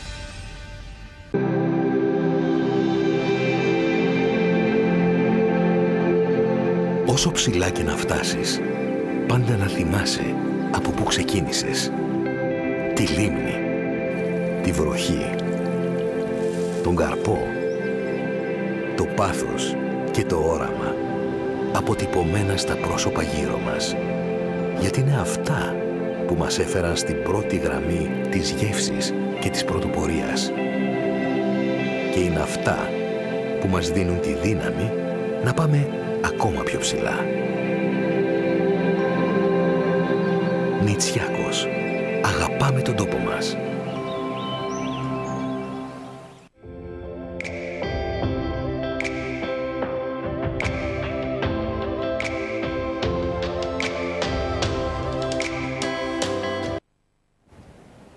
Λοιπόν, εδώ είμαστε φίλες και φίλοι, επιστρέψαμε. Να αναφερθώ βασικά γιατί είναι μία από τις πιο σημαντικές ειδήσεις, έτσι που θα συζητηθεί, θα δούμε έτσι ε, και σε επίπεδο τοπικό και πολιτικό τι αναγνώσεις έχει. Ε, αναφέρομαι στην είδηση που θέλει την, το Υπουργείο Ανάπτυξης να χρηματοδοτεί την περιφέρεια Υπήρου με το ποσό του μισό εκατομμυρίου ευρώ, του μισού εκατομμυρίου, για τη μεταφορά του, υπολή, του υπολείμματος. Ε, διασφαλίζεται λοιπόν ότι για ένα σχεδόν, για ένα περίπου χρόνο, το κόστος για τη μεταφορά υπολείμματος για τους Δήμους θα είναι μηδενικό. Αυτό φαίνεται ότι το έχει καταφέρει η Περιφέρεια Υπήρου. Η απόφαση αυτή δεν ξέρω αν είναι τυχαίο ή δεν είναι. Έρχεται λίγες μέρες μετά την άφηξη και του Πρωθυπουργού στα Γιάννενα. Ε, φαίνεται πως θα υπήρξε ενημέρωση για το θέμα. Θα φαίνεται ότι τα Υπουργεία, οι Υπουργοί παρακολουθούν τις εξελίξεις εδώ στην περιοχή μας. Δόθηκε πάντως η λύση από το Υπουργείο Ανάπτυξης και από, ουσιαστικά και από την κυβέρνηση και σε αυτό που θα πρέπει να μείνουμε είναι πάρα πολύ σημαντικό ότι οι πολίτες της Υπήρου δεν θα έχουν, δεν θα επιφορτιστούν με αυτό το κόστος. Και κατά συνέπεια εννοείται οι Δήμοι και στη συνέχεια οι πολίτες, γιατί οι πολίτες θα καλούνταν να πληρώσουν. Λοιπόν, μια σημαντική είδηση που έρχεται. Μαζί μας είναι η Μαρία Παπαθεοδόρου. Και δεν ξέρω, Μαρία μου, έτσι είχαμε πει να τα πούμε λίγο για την περιοχή σας κλπ. Αλλά επειδή είναι μια σημαντική είδηση και επειδή παρακολουθείς πάρα πολλά ναι. χρόνια την τοπική αυτοδιοίκηση, τα θέματα έτσι, και της περιοχής αλλά και της Υπήρου, δεν ξέρω αν θα ήθελες ένα σχόλιο να κάνεις να χαμογελάσουν λίγο οι δήμαρχοι, γιατί επανελειμμένω, ε, βεβαίως ε, και ο κύριος Κακριμάνης με τους συνεργάτες τους ε, και οι δήμαρχοι της Υπήρου, που βάλανε πλάτη όλοι, προκειμένου η περιφέρεια Υπήρου να είναι πρωτοπόρα στο θέμα της διαχείρισης των απορριμμάτων. Το έχουμε πει. Mm-hmm. Η Ήπειρος βραβεύτηκε. Το εργοστάσιο απορριμμάτων ε, στα Γιάννενα έχει πάρει και το βραβείο το γνωστό που πήρε πέρυσι ή πρόπερσι, αν, αν δεν κάνω λάθος. Ε, που σημαίνει ότι η Ήπειρος, ε, ακριβώς επειδή υπήρξε πρωτοπόρα στη διαχείριση των απορριμμάτων από όλες τις περιφέρειες της, της ε, χώρας και έχει βραβευτεί και για το λόγο αυτό. Το έχει πει και ο κύριος Τσιρογιάννη, ο Δήμαρχος Αρτέων. Υποθέτω ότι αυτή την άποψη συμμερίζονται και πάρα πολλοί άλλοι δήμαρχοι, ότι σε είδος έπρεπε έμπρακτα η πολιτεία με κάποιο τρόπο να, να, να, να, να μίψει την περιφέρεια Υπήρου με κάποιο τρόπο λοιπόν σε ό,τι αφορά τη διαχείριση των ε, απορριμμάτων. Ε, και είδες ότι όλο το προηγούμενο διάστημα υπήρξε πολύ μεγάλη κουβέντα για τη διαχείριση, για το πώς θα γίνουν τα κόστη μεταφορών κτλ. Υπήρχαν κάποια θέματα. Ε, είναι, είναι σαφέστατα μια πολύ ωραία είδηση και ελπίζουμε η διαχείριση των απορριμμάτων στην Ήπειρο να προχωρήσει έτσι όπως πρέπει, ε, γιατί όλοι το θέλουν και όλοι έχουν βάλει πλάτη γι' αυτό. ενδιαφέρον έχει όμως τώρα, Μαρία μου, στην προκειμένη περίπτωση, να δούμε τι στάση θα κρατήσει ο αναγκαστικός ε, σύνδεσμος. Γιατί είδαμε την, αντε, την, παρα, την ναι. αντιπαράθεση που υπήρξε τις προηγούμενες ημέρες. Είπαν ότι θα φτάνανε με την περιφέρεια Επίρου ακόμη και α, στα δικαστήρια. Θα έπαιρνε την νομική οδό το θέμα. Τώρα φαίνεται ότι η λύση έρχεται από α, το Υπουργείο Ανάπτυξης, από πιο ψηλά. Και έχει ενδιαφέρον να δούμε έτσι τι στάση θα κρατήσουν οι αυτοδιοικητικοί που αντιδρούσαν έτσι με την απόφαση και την επέμβαση, παρέμβαση της περιφέρειας Υπήρου. Βεβαίως. Θα το παρακολουθήσουμε το θέμα, θα δούμε πώς θα πάει. Αλλά είναι κρίμα. Έχει ξεκινήσει μια πολύ μεγάλη προσπάθεια στην Ήπειρο ε, και όλοι θέλουν να πάνε καλά. Γιατί πραγματικά είναι πολύ, ε, πολύ έτσι, μεγαλόπνο, αν θέλεις, στο σχέδιο της διαχείρισης των απορριμμάτων στην Ήπειρο. Και θα είναι και μπούσουλας, ε, ας μου επιτροπεί αυτή η λέξη, για το πώς θα, θα συνεχιστεί η διαχείριση των απορριμμάτων ε, σε όλη τη χώρα. Σωστά, σωστά. Είναι κρίμα ναι, να μένουμε πίσω τώρα που εμείς ήμασταν οι πρωτοπόροι, ήμασταν το παράδειγμα προς μίμηση. Μην γίνουμε οι δακτυλοδεικτούμενοι. Αυτό έλεγα τις προηγούμενες ημέρες. Είναι κρίμα να χαλάσουμε όλη τη δουλειά που έχει γίνει. Και καλό είναι να υπάρξει σύμπνοια ε, και καλό είναι να υπάρξει σύμπνοια και νομίζω ότι οι λύσεις υπάρχουν για όλα τα θέματα, αρκεί να θέλουμε να τα λύσουμε. Δεν υπονοώ κάτι, είναι κάτι το οποίο το λέμε ε, έτσι ε, καθίστε σε ένα τραπέζι, θα, λύση θα βρεθεί. Δεν υπάρχει περίπτωση να μην Μα... βρεθεί λύση. Τώρα η αλήθεια είναι ότι αυτή είναι η πιο συμφέρουσα λύση. Μηδέν κόστος, δεν μετακυλείται τίποτα στον πολίτη της Υπήρου που έχει τόσα να πληρώσει και έχει, είναι ως εδώ ο κόσμος. Το τελευταίο που θα θέλει είναι να πληρώσει και περισσότερα. Μάλιστα. Γιατί ήταν, ήταν ένα σημείο αντιπαράθεσης ε, το προηγούμενο διάστημα το, το τι θα κληθεί να πληρώσει ο λαός της Υπήρου ε, για τη διαχείριση των απορριμμάτων. Ναι, τι ωραία που έγινε η διαχείριση των απορριμμάτων, αλλά υπήρξε μια πολύ μεγάλη κουβέντα και είδαμε και τι αντιπαραθέσεις υπήρξαν ε, μεταξύ περιφέρειας και αυτοδιοικητικών για το τι θα κληθούν να πληρώσουν ε, οι πολίτες σε αυτό το θέμα. Μια ωραία είδηση πάντως έτσι, και νομίζω το μας απασχολήσει αρκετά ε, και τις επόμενες ημέρες. Για πάμε τώρα... θέλουμε, να έρθετε πιο συχνά. Για πάμε λίγο στα... Λοιπόν, ε, ε, στα της πανδημίας. Θες να ξεκινήσουμε με τα λοιπόν, της πανδημίας; Ε, ας ξεκινήσουμε με τα της πανδημίας για να, για να καταλήξουμε ωραία. με τα πολύ ωραία πράγματα που συμβαίνουν στην Άρτα. Ε, να πούμε δυστυχώς ο Νοέμβρης όπως είπαμε ήταν ένας κατάμαυρος Νοέμβρης για την Άρτα. Η Άρτα πρώτη φορά ζει ε, τόσο τραγικά την πανδημία. Ε, είναι η πρώτη φορά σε αυτά τα δύο σχεδόν χρόνια ε, που είμαστε στη δίνη της πανδημίας. Ο Νοέμβριος λοιπόν για την Άρτα έκλεισε με 1128 κρούσματα ε, κορονοϊού. Ένα Όπως μας είχες πει, είμαστε στο όριο μας έλεγες την προηγούμενη εβδομάδα να πιάσουμε τα χίλια, είδαμε ότι έφυγε πάνω από τον αριθμό αυτό. Ξεπεράσαμε. Μα ήμασταν τέσσερις μέρες πριν κλείσει ο μήνας που είχαμε χίλια κρούσματα. Ε, ο Νοέμβρης για την Άρτα έκλεισε με 1128 κρούσματα. Η Άρτα δεν το έχει ξαναδεί αυτό ε, στα τρία κύματα που, πανδημίας που προηγήθηκαν. Ε, πολύ άσχημα και ξεκίνησε χθες ο Δεκέμβρης. Καλό μήνα και όλα σε όλους. Να είναι ένας πολύ καλός μήνας, ευλογημένος ε, και με αυτή τη μεγάλη γιορτή που περιμένουμε. Ε, και ξεκίνησε με 31 κρούσματα. Mm Χθες έχει πέσει λίγο ο αριθμός των κρούσματων στην Άρτα, ε, όπως έχει πέσει η Έλενα και ο αριθμός των διασωληνωμένων ε, συγγνώμη, ο αριθμός των ε, ανθρώπων που νοσηλεύονται ε, στο νοσοκομείο της Άρτας. Είμαστε στους 37 αυτή τη στιγμή που νοσηλεύεται. Να πούμε όμως ότι όπως μας είπε η κυρία Θανασίου, η διευθύντρια των δύο κλινικών COVID, καθημερινά δίνονται και εξιτήρια και αυτό είναι εξαιρετικά, ε, εξαιρετικά χαρούμενη είδηση. Έστω και και δύο ή τρεις ε, να βγαίνουν καθημερινά σημαίνει ότι είναι οι άνθρωποι που νίκησαν τον κορονοϊό και επιστρέφουν νικητά στα σπίτια τους. Είχαμε και σήμερα εξητήρια, ε, τρία νομίζω εξητήρια και είχαμε, έχουμε όμως και δύο διασωληνωμένους στο νοσοκομείο της Άρτας. Είναι ε, ένας 80χρονος και μία 80χρονη ή αντίστροφα τέλος πάντων. Είναι δύο άνθρωποι 85 και 80 χρονών, ανεμβολίαστοι και οι δύο, ε, οι οποίοι παραμένουν διασωληνωμένοι στο νοσοκομείο της Άρτας. Φυσικά για όλους ευχόμαστε να, να πάνε όλα καλά και να επιστρέψουν. Πραγματικά είναι κρίμα. Είναι κρίμα όταν είναι ακούμε τα γεροντάκια, τα παπουδάκια να έχουν περάσει έτσι όλο αυτό, να φτάνει 80-85 ετών και να καταλήγει στο νοσοκομείο ε, λόγω κορονοϊού. Είναι κρίμα. Θα μπορούσε, να, θα μπορούσε να έχει αποφευθεί αυτό αν από πέρυσι ε, είχαν εμβολιαστεί. Γιατί ήταν για τους Ναι. πρώτους ανθρώπους Ε, που είχε είναι ανοίξει η κρίμα, πλατφόρμα. Βεβαίω, ο μέσος όρος ηλικίας όλων όσων νοσηλεύονται με κορονοϊό είναι άνω των, των 60, όπως σου είχα πει και στην προηγούμενη ε, σύνδεση μας την περασμένη εβδομάδα. Είναι δύσκολη, παραμένει δύσκολη και έτσι ε, δύσκολη η κατάσταση στο νοσοκομείο. Είναι, είναι εξαντλητικά τα ωράρια για όλους. Ε, γιατί, όπως έχουμε πει και θα το ξαναπούμε, γιατί και αυτό ο κόσμος πρέπει να το έχει στο μυαλό του, δεν είναι μόνο οι ασθενείς COVID μέσα στα νοσοκομεία. Είναι και άλλοι ασθενείς. Είναι ασθενείς που μπαίνουν για χίλιους δύο λόγους, ε, πέρα από τον COVID. Καταλαβαίνεις λοιπόν όταν έχεις να κάνεις με, με έναν ιό, ε, τον οποίο γνωρίζεις μόνο ένα χρόνο και πρέπει να τον αντιμετωπίσεις ε, με όλες αυτές τις δυσκολίες, γιατί είναι και εξαιρετικά μεταδοτικός, θα πρέπει να έχεις και γύρω σου δεκάδες ακόμη ασθενείς που πρέπει να περιθάλψεις, ε, που δεν είναι COVID, είναι κάτι άλλο. Καταλαβαίνετε ότι τα είπε άλλωστε και ο κύριος από την ΠΟΕΔΗ, είναι ο κύριος Γευτόπουλος πριν από λίγο. Ε, νομίζω ότι ήταν ιδιαίτερα περιγραφικός ο άνθρωπος που τα γνωρίζει και από μέσα. Να μην ε, το παίξω εγώ έξυπνη και αρχίσω να επαναλαμβάνω αυτά που είπε, είναι, είναι σημαντικά. Ε, να ευχόμαστε όλοι να αρχίσουν να μειώνεται ο αριθμός.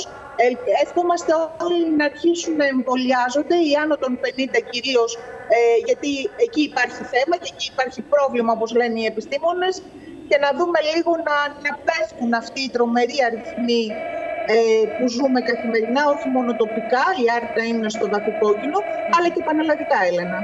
Σωστά, σωστά. Για να δούμε όμως, για να δούμε Μαρία μου, γιατί έχουμε μπροστά μας και την μετάλλαξη όμικρον, δεν ξέρουμε τι μας επιφυλάσσει όλο αυτό. Ε, αν εμβολιαστούμε, ίσως, ίσως α, να ανατρέψουμε όλη αυτή την άσχημη κατάσταση. Λοιπόν, ε, να σε ρωτήσω λίγο τι γίνεται μέχρι αύριο. Έχουμε το ένατο και ενδέκατο, ένατο δημοτικό και ενδέκατο νηπιαγωγείο κλειστά, λόγω ενός προβλήματος που ανέκυψε εκεί, έπεσε ένας δημοτικό σχολείο. Ναι, το ένα το δημοτικό σχολείο θα παραμείνει και αύριο κλειστό, Έλενα. Είχαμε τις περασμένες ημέρες ε, την, ε, ε, την κατάρρευση ενός στοιχείου ε, και λόγω των βροχών. Ήταν όμως ένα θέμα που προϋπήρχε, ε, γιατί υπήρξαν και κάποιες αντιδράσεις από τη μείζων αντιπολίτευση και την κυρία Τζέννη Ταμπρατζίκη, η οποία βρέθηκε εκεί με δημοτικούς συμβούλους ε, για να πούνε ότι το θέμα προϋπήρχε και όντως προϋπήρχε. Ε, το δήλωσε και ο Δήμαρχος Αρτέων, ο κ. Τσιρογιάννης, στη συνέντευξη που έδωσε προχθές στο Δημοτικό Ραδιόφωνο ε, και είπε ότι όντως ήταν ένα θέμα που το παρακολουθούσαν οι τεχνικές υπηρεσίες του Δήμου. Ήταν ένα θέμα το οποίο είχε πάει με τη μορφή του κατεπήγοντος προκειμένου να διορθωθεί. Απλά τους πρόλαβαν οι βροχές και τελικά το τυχείο κατέρευσε. Ε, γίνονται τώρα οι εργασίες. Έχει απαγορευτεί και η κυκλοφορία αυτές τις μέρες ε, όσοι δεν έχουν κινηθεί και θα κινηθούν τώρα από τη μονή της κάτω Παναγιάς μέχρι το ένα το δημοτικό, ε, εκεί έχει κλείσει ο δρόμος, να μην πάνε από τη μονή της ε, κάτω Παναγιάς να ανέβουν προς το νοσοκομείο, γιατί θα βρουν τον δρόμο κλειστό. Ε, να δούμε. Είπαν ότι μέχρι αύριο, να δούμε, ακόμη δεν έχει βγει δελτίο τύπου από τον ε, Δήμο Ορτέων, εάν θα αλλάξει κάτι και από εβδομάδα. Αλλά προς το παρόν και αύριο θα παραμείνει κλειστό το σχολείο, προκειμένου να αντιμετωπιστεί αυτό το πρόβλημα. Τα Ε, και παιδιά να έχουμε πούμε και ότι μια δεν χάνουν αναστάτωση μαθήματα, με ή χωρίς κάνουν παιδαγωγικά. τηλεκπαίδευση. Ορίστε. Λέω να πούμε Ορίστε. ότι τα παιδιά αυτές τις τρει-τέσσερι ημέρες δεν χάνουν τα μαθήματά τους. Υπάρχει συνεννόηση του Δήμου με την περιφερειακή εκπαίδευση για να κάνουν Ε, ναι, ναι, τηλεκπαίδευση. προφανώς έχει να λάβει πρώτα, βεβαίως. Βεβαίω. Αυτά έχουν, ε, έχουν αναλυθεί από τις αρμόδιες υπηρεσίες. Ε, και να πούμε ότι έχουμε και μια μικρή αναστάτωση στο κέντρο της Σάρτας, γιατί γίνεται ε, ασφαλτόστρωση κεντρικών οδών ε, στο κέντρο της πόλης της Σάρτας. Ε, ε, Αμβρακίας, Τζαβέλα κτλ. Εκεί γίνεται αντικατάσταση του οδοστρώματος. Ε, υπάρχει ένα θέμα τώρα, επειδή είναι χειμώνας, έχουμε τις βροχές κτλ. Ε, έχει, έχει κλείσει και ένα κομμάτι της εισόδου της Σάρτας προς το κέντρο ε, και υπάρχει και μια σχετική ταλαιπωρία. Ο Δήμος ζητά την κατανόηση των ε, δημοτών. Ε, είναι ένα έργο που πρέπει να γίνει και ε, να κάνουμε όλοι λίγο υπομονή ώστε να περιοθούν οι εργασίες, να γίνει η αντικατάσταση του οδοστρώματος. Α, και να πω και κάτι Έλληνα για το νοσοκομείο, να ξέρει ο κόσμος, όσοι μας βλέπουν από την Άρτα, ε, ότι από τις 6 Δεκεμβρίου, επειδή ξέχασα να το πω, αναβάλλονται όλα τα παθολογικά τακτικά ιατρία στο νοσοκομείο της Σάρτας για ραντεβού ή ιδιαίτερα για συνταγογράφηση. Οι πολίτες θα πρέπει να απευθύνονται στο κέντρο υγείας Σάρτας, στο παλιό νοσοκομείο δηλαδή, εκεί να κλείσουν ραντεβού ή για συνταγογράφηση να επικοινωνήσουν με τα τηλέφωνα του κέντρου υγείας Σάρτας. Μάλιστα. Με τι θα κλείσουμε, θα κλείσουμε με την έκθεση Moral, που είναι μια, ένα πολύ ωραίο μεγάλο, το μεγάλο. γεγονός. Είναι το μεγάλο πολιτιστικό γεγονός της χρονιάς για την Άρτα. Ε, εγώ θα τολμήσω να πω για όλους μας ε, στην Ήπειρο. Ο Γιάννης Μόραλης είναι ένας από τους σημαντικότερους ε, Έλληνες ζωγράφους του αιώνα που πέρασε ε, και καταλαβαίνεις ότι το να έρχεται μία έκθεση που αφορά τη ζωή και του έργου ενός τόσο σπουδαίου ζωγράφου, ο οποίος γεννήθηκε στην Άρτα και κράτησε για πάντα τις μνήμες από τα παιδικά του χρόνια και ο ίδιος δήλωσε ότι ενδεχομένως να αποτυπώνονται και στα έργα του ε, οι μνήμες αυτές ε, στην περίοδο της ζωής του.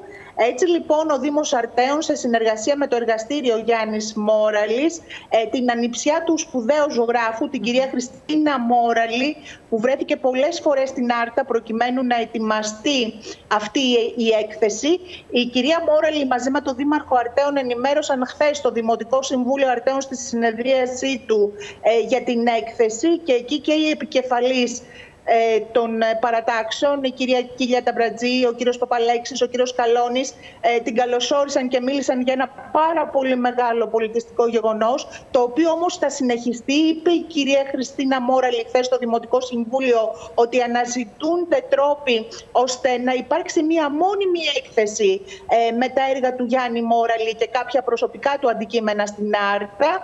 Έτσι λοιπόν θα δούμε πώς θα γίνει αυτό, είπε η κυρία Μόραλη.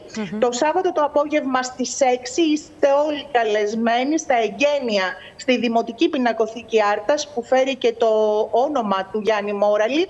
Ε, στις 6 το απόγευμα θα γίνουν τα εγγένεια από τον πρόεδρο του Βουλής, τον κύριο Κώστα Τασούλα και τον Δήμαρχο Αρτέων. Να πούμε ότι η έκθεση τελεί υπό την αιγίδα του, ε, της Βουλής των Ελλήνων. Θα παραμείνει ανοιχτή για το κοινό μέχρι τις 6 Φεβρουαρίου του 2022. Θα είναι καθημερινά ανοιχτή πρωί και απόγευμα τα Σαββατοκύριακα από τις 11 το πρωί μέχρι τις 7 το απόγευμα έτσι ώστε πολλοί κόσμος ε, να την επισκεφθεί και να δουν από κοντά τη ζωή και το έργο του σπουδαίου Γιάννη Μόραλη. Πολλοί αρτινοί ενδεχομένως να μην γνωρίζουν καν ότι ο Γιάννης Μόραλης είναι αρτινός, έχει γεννηθεί στην Άρτα ε, και να έρθουν σε επαφή λοιπόν με τη ζωή και το έργο του, μέσα από χαρακτικά του, μέσα από πίνακες ζωγραφικής, μέσα από τα προσωπικά του αντικείμενα. Η κυρία Μόραλης, στη συνέντευξη τύπου που έδωσε σήμερα μαζί με τον Δήμαρχο Αρτέων, τον κύριο Τσιρογιάννη, είπε χαρακτηριστικά ότι ο Γιάννης Μόραλης ανήκει στην Άρτα, ενώ ο κύριος Τσιρογιάννης τόνισε ότι είναι τιμή για τον ίδιο που η οικογένεια Μόραλη του εμπιστεύτηκε αυτή τη σπουδαία έκθεση. Ε, η οποία, όπως είπαμε, θα ανοίξει τις πύλες της το Σάββατο 6 το απόγευμα. Ε, θα πρέπει να την επισκεφτούμε όλοι οι αρτινοί, ίσως και όλοι οι πυρώτες, ε, γιατί πραγματικά θα δούμε από κοντά τη ζωή και το έργο ενός σπουδαίου Έλληνα ζωγράφου. Ευκαιρία να πιούμε το Σαββατοκύριακο καφέ στην Άρτα, να δούμε και αυτή την όμορφη έκθεση. Πλέον τουλάχιστον για εμάς είναι πάρα πολύ κοντά.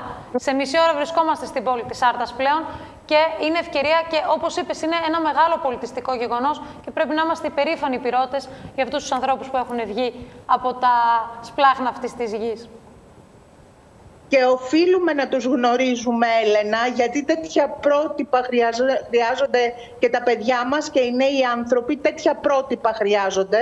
Ε, αυτούς τους ανθρώπους που ξεκίνησαν από τον τόπο τους, μεγαλούργησαν, ο καθένας στον τομέα του. Δεν σημαίνει ότι πρέπει να γίνεις κάτι, ε, ε ένας πολύ διάσημος, ε, να μπορέσεις στον τομέα σου να διακριθείς και να πορευτείς έντιμα και σωστά και να αφήσεις πίσω σου ένα έργο. Μικρό ή μεγάλο δεν έχει σημασία αλλά είναι αυτά τα πρότυπα ε, που πρέπει να, να γνωρίζουν τα παιδιά μας και οι νέοι μας.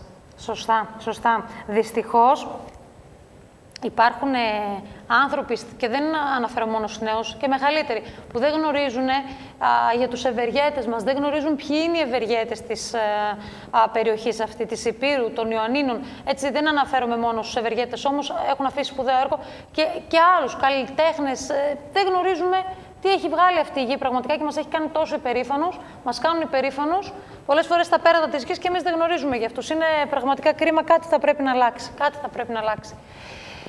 Πάρα πολύ ωραία. Λοιπόν, λοιπόν θα κρατήσει αρκετό καιρό αυτή η έκθεση, να πούμε, Μαρία μου. Να το ξέρουμε. μέχρι τις 6 Φεβρουαρίου, δύο γεμάτους μήνες. Επομένως, ε, είναι αρκετός καιρός ε, για να πάμε όλοι να τη δούμε. Και εμείς και εσείς. Πολύ σωστά. Σε αποχαιρετούμε, σε ευχαριστούμε πάρα πάρα πολύ. Θα τα πούμε και από εβδομάδα. Να θα μας πεις έτσι. Να είστε καλά. Θα έχουμε ρεπορτάζ και τα εγγένεια. Να είστε καλά. Να έχουμε ένα όμορφο Παρασκευό Σαββατοκύριακο. Να είστε καλά. Λοιπόν, φίλες, φίλοι, πάρα πολλά μηνύματα λαμβάνω από εσάς. Σας ευχαριστούμε πάρα, πάρα πολύ έτσι, για την παρέα που μας κάνετε, για τα μηνύματα που μας ε, στέλνετε από διάφορες περιοχές της Ελλάδας. Και δεν μιλάω μόνο για την Ήπειρο, γιατί καθημερινά έρχονται μηνύματα από την uh, Κρήτη, από τη Λάρισα. Μας βλέπετε από πάρα, πάρα πολλές περιοχές. Καλά, εννοείται τη γειτονική, το Ολοκαρνανία, ε, το Μεσολόγγι, το Αγρίνιο. Σας ευχαριστούμε πάρα, πάρα πολύ όλους. Να είστε καλά. Ιδιαίτερες ευχές θέλω να στείλω εκεί στους φίλους μου στις πηγές Άρτας που στέλνετε μηνύματα. Και μιας και μιλάω για την περιοχή σας, ε, είδα κάπου πήρε το μάτι μου την αντίδραση που υπάρχει του α, Περικλή Μίγδου, του Δημάρχου Γεωργίου Καραϊσκάκη, σε σχέση με τις, α, διακοπές, τις συνεχείς διακοπές ρεύματος. δεν είναι ο μοναδικός αυτοδιοικητικός που αντιδρά. Τις προηγούμενες ημέρες είχαμε φιλοξενήσει και το Δήμαρχο Φιλιατών. Έχω ενημερωθεί από τα ορεινά της Υπήρου και τα ορεινά των Ιωαννίνων. Το ίδιο πρόβλημα αντιμετωπίζουν πάρα πολλά χωριά. Τα ίδια προβλήματα είχαν ακριτικά χωριά της ε, Κόνιτσας. Πολλά συνεργεία τη ΔΕΗ του ΔΕΔΙΕ βρέθηκαν εκεί για να αποκαταστήσουν ε, ζημιές. Όμως δεν πάει άλλο αυτό. Δεν μπορεί τώρα για δύο-τρεις ημέρες που έχουμε κακοκαιρία στην Ήπειρο να έχουμε συνεχείς διακοπές ρεύματος με ό,τι αυτό συνεπάγεται για τους ανθρώπους του πρωτογενούς τομέα, για, τους, για τις κτηνοτροφικές, τις κτηνοτροφικές μονάδες, τους ανθρώπους που έχουν ε, ζώα, τους μελισσοκόμους, αλλά και τα νοικοκυριά. Ε, δεν πάει άλλο και έχουν δίκιο να αντιδρούν και αυτοδιοικητικοί και οι δήμαρχοι και οι άνθρωποι. Πώς να μείνουν στον τόπο τους πραγματικά. Λοιπόν, Πού θέλεις να πάμε, Σωτήρη μου, θέλεις να πάμε σε ένα μικρό διαφημιστικό διάλειμμα; Ωραία. Ας πάμε σε ένα μικρό διαφημιστικό διάλειμμα, γιατί πέρασε η ώρα και ε, επιστρέφουμε σε πολύ πολύ λίγο με τα υπόλοιπα θέματά μας.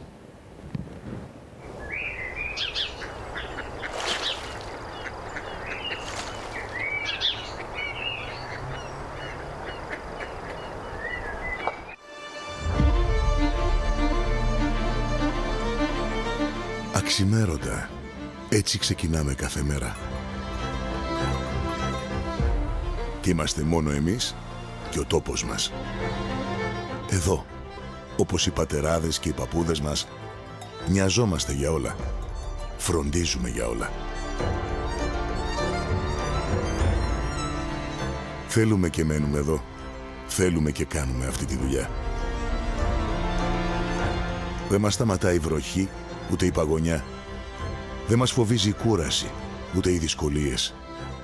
Γιατί ξέρουμε ότι έχουμε δίπλα μας τη Δοδόνη και ότι εδώ και πολλές γενιές στα χέρια μας κρατάμε κάθε μέρα κάτι ιερό, αγνό, κατάλευκο και πολύτιμο. Αυτός είναι ο τόπος μας.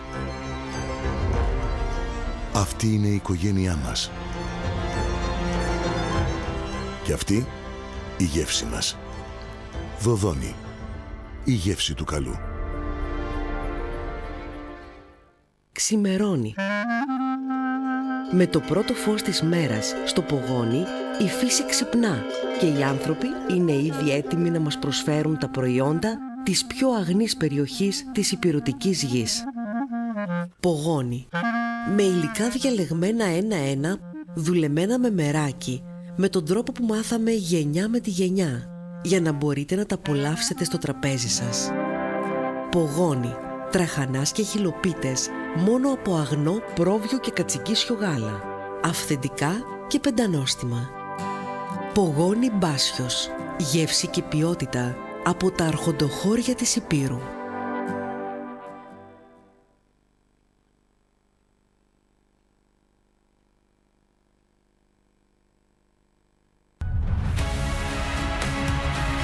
Τράπεζα Υπήρου βρισκόμαστε εκεί που χτυπάει η καρδιά της τοπικής οικονομίας.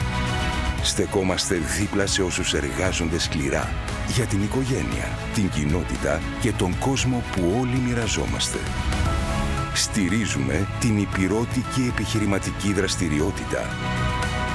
Γιατί πιστεύουμε πως η μικρομεσαία επιχειρηματικότητα είναι η κινητήριος δύναμη της τοπικής οικονομίας σας περιμένουμε στο νέο μας κατάστημα στο Μέτσοβο για να σας υποστηρίξουμε με ευελιξία, αμεσότητα και ανθρώπινη προσωπική εξυπηρέτηση. Τράπεζα Υπήρου. Η τράπεζα του τόπου μας. Λοιπόν, ο Πέτρος Χιούλης είναι μαζί μας για την αθλητική σας ενημέρωση. ζωή. Πέτρο μου, καλησπέρα. Καλησπέρα, καλησπέρα Έλενα, καλησπέρα και στους φίλους τηλεθεατές του Ήπειρος στη Βιέννα. Έτσι στον απόϊχο Της χθεσινής ημέρας των ε, προημιτελικών για τους αγώνες κυπέλου που διοργανώνει η ΕΨΥΠ με ενδιαφέρουσες αναμετρήσεις και αρκετές εναλλαγές συναισθημάτων, Έλενα. Λοιπόν, για πες μας, τι είχαμε, ε, ποιοι λοιπόν, πρωταγωνίστησαν; Αρχικά για να καταλάβει και ο κόσμος, ε, η φάση αυτή ε, είναι νοκάουτ και σε περίπτωση που οι δύο ομάδες βγουν λήξεις το μάτι αλλά τότε έχουμε επαναληπτικό. Αυτό το είδαμε σε mm-hmm. ορισμένες ε, αναμετρήσεις που ε, ολοκληρώθηκαν στην κόψη του ξηραφιού με ομάδες να ισοφαρίζουν και να πηγαίνουν το μάτι ε, σε, δεύτερο, σε δεύτερο αγώνα. Αρχικά αυτό έγινε με την ε, αναμέτρηση των αμπελοκήπων κόντρα στο Κουτσελιό. Οι γηπεδούχοι ευτύχησαν να προηγηθούν με τον ε, Βλαχιώτης στο 58 και λίγο πριν την ε, λήξη του μάτς, ε, οι φιλοξενούμενοι κατάφεραν χάρη στον γκολ που σημείωσε ο Κρανάς να πάνε το μάτς επαναληπτικό για την ερχόμενη Τετάρτη στο γήπεδο της Κουτσελια, της, ε, του Κουτσελιού. Κάτι τέτοιο έγινε και στην αναμέτρηση της ε, Κοσμηράς με το Σταυράκι, όπου οι φιλοξενούμενοι προηγήθηκαν μόλις το δεύτερο λεπτό ε, με τον ε, Ντόντι σε ένα μάτς που έγινε στην ε, Κοσμηρά.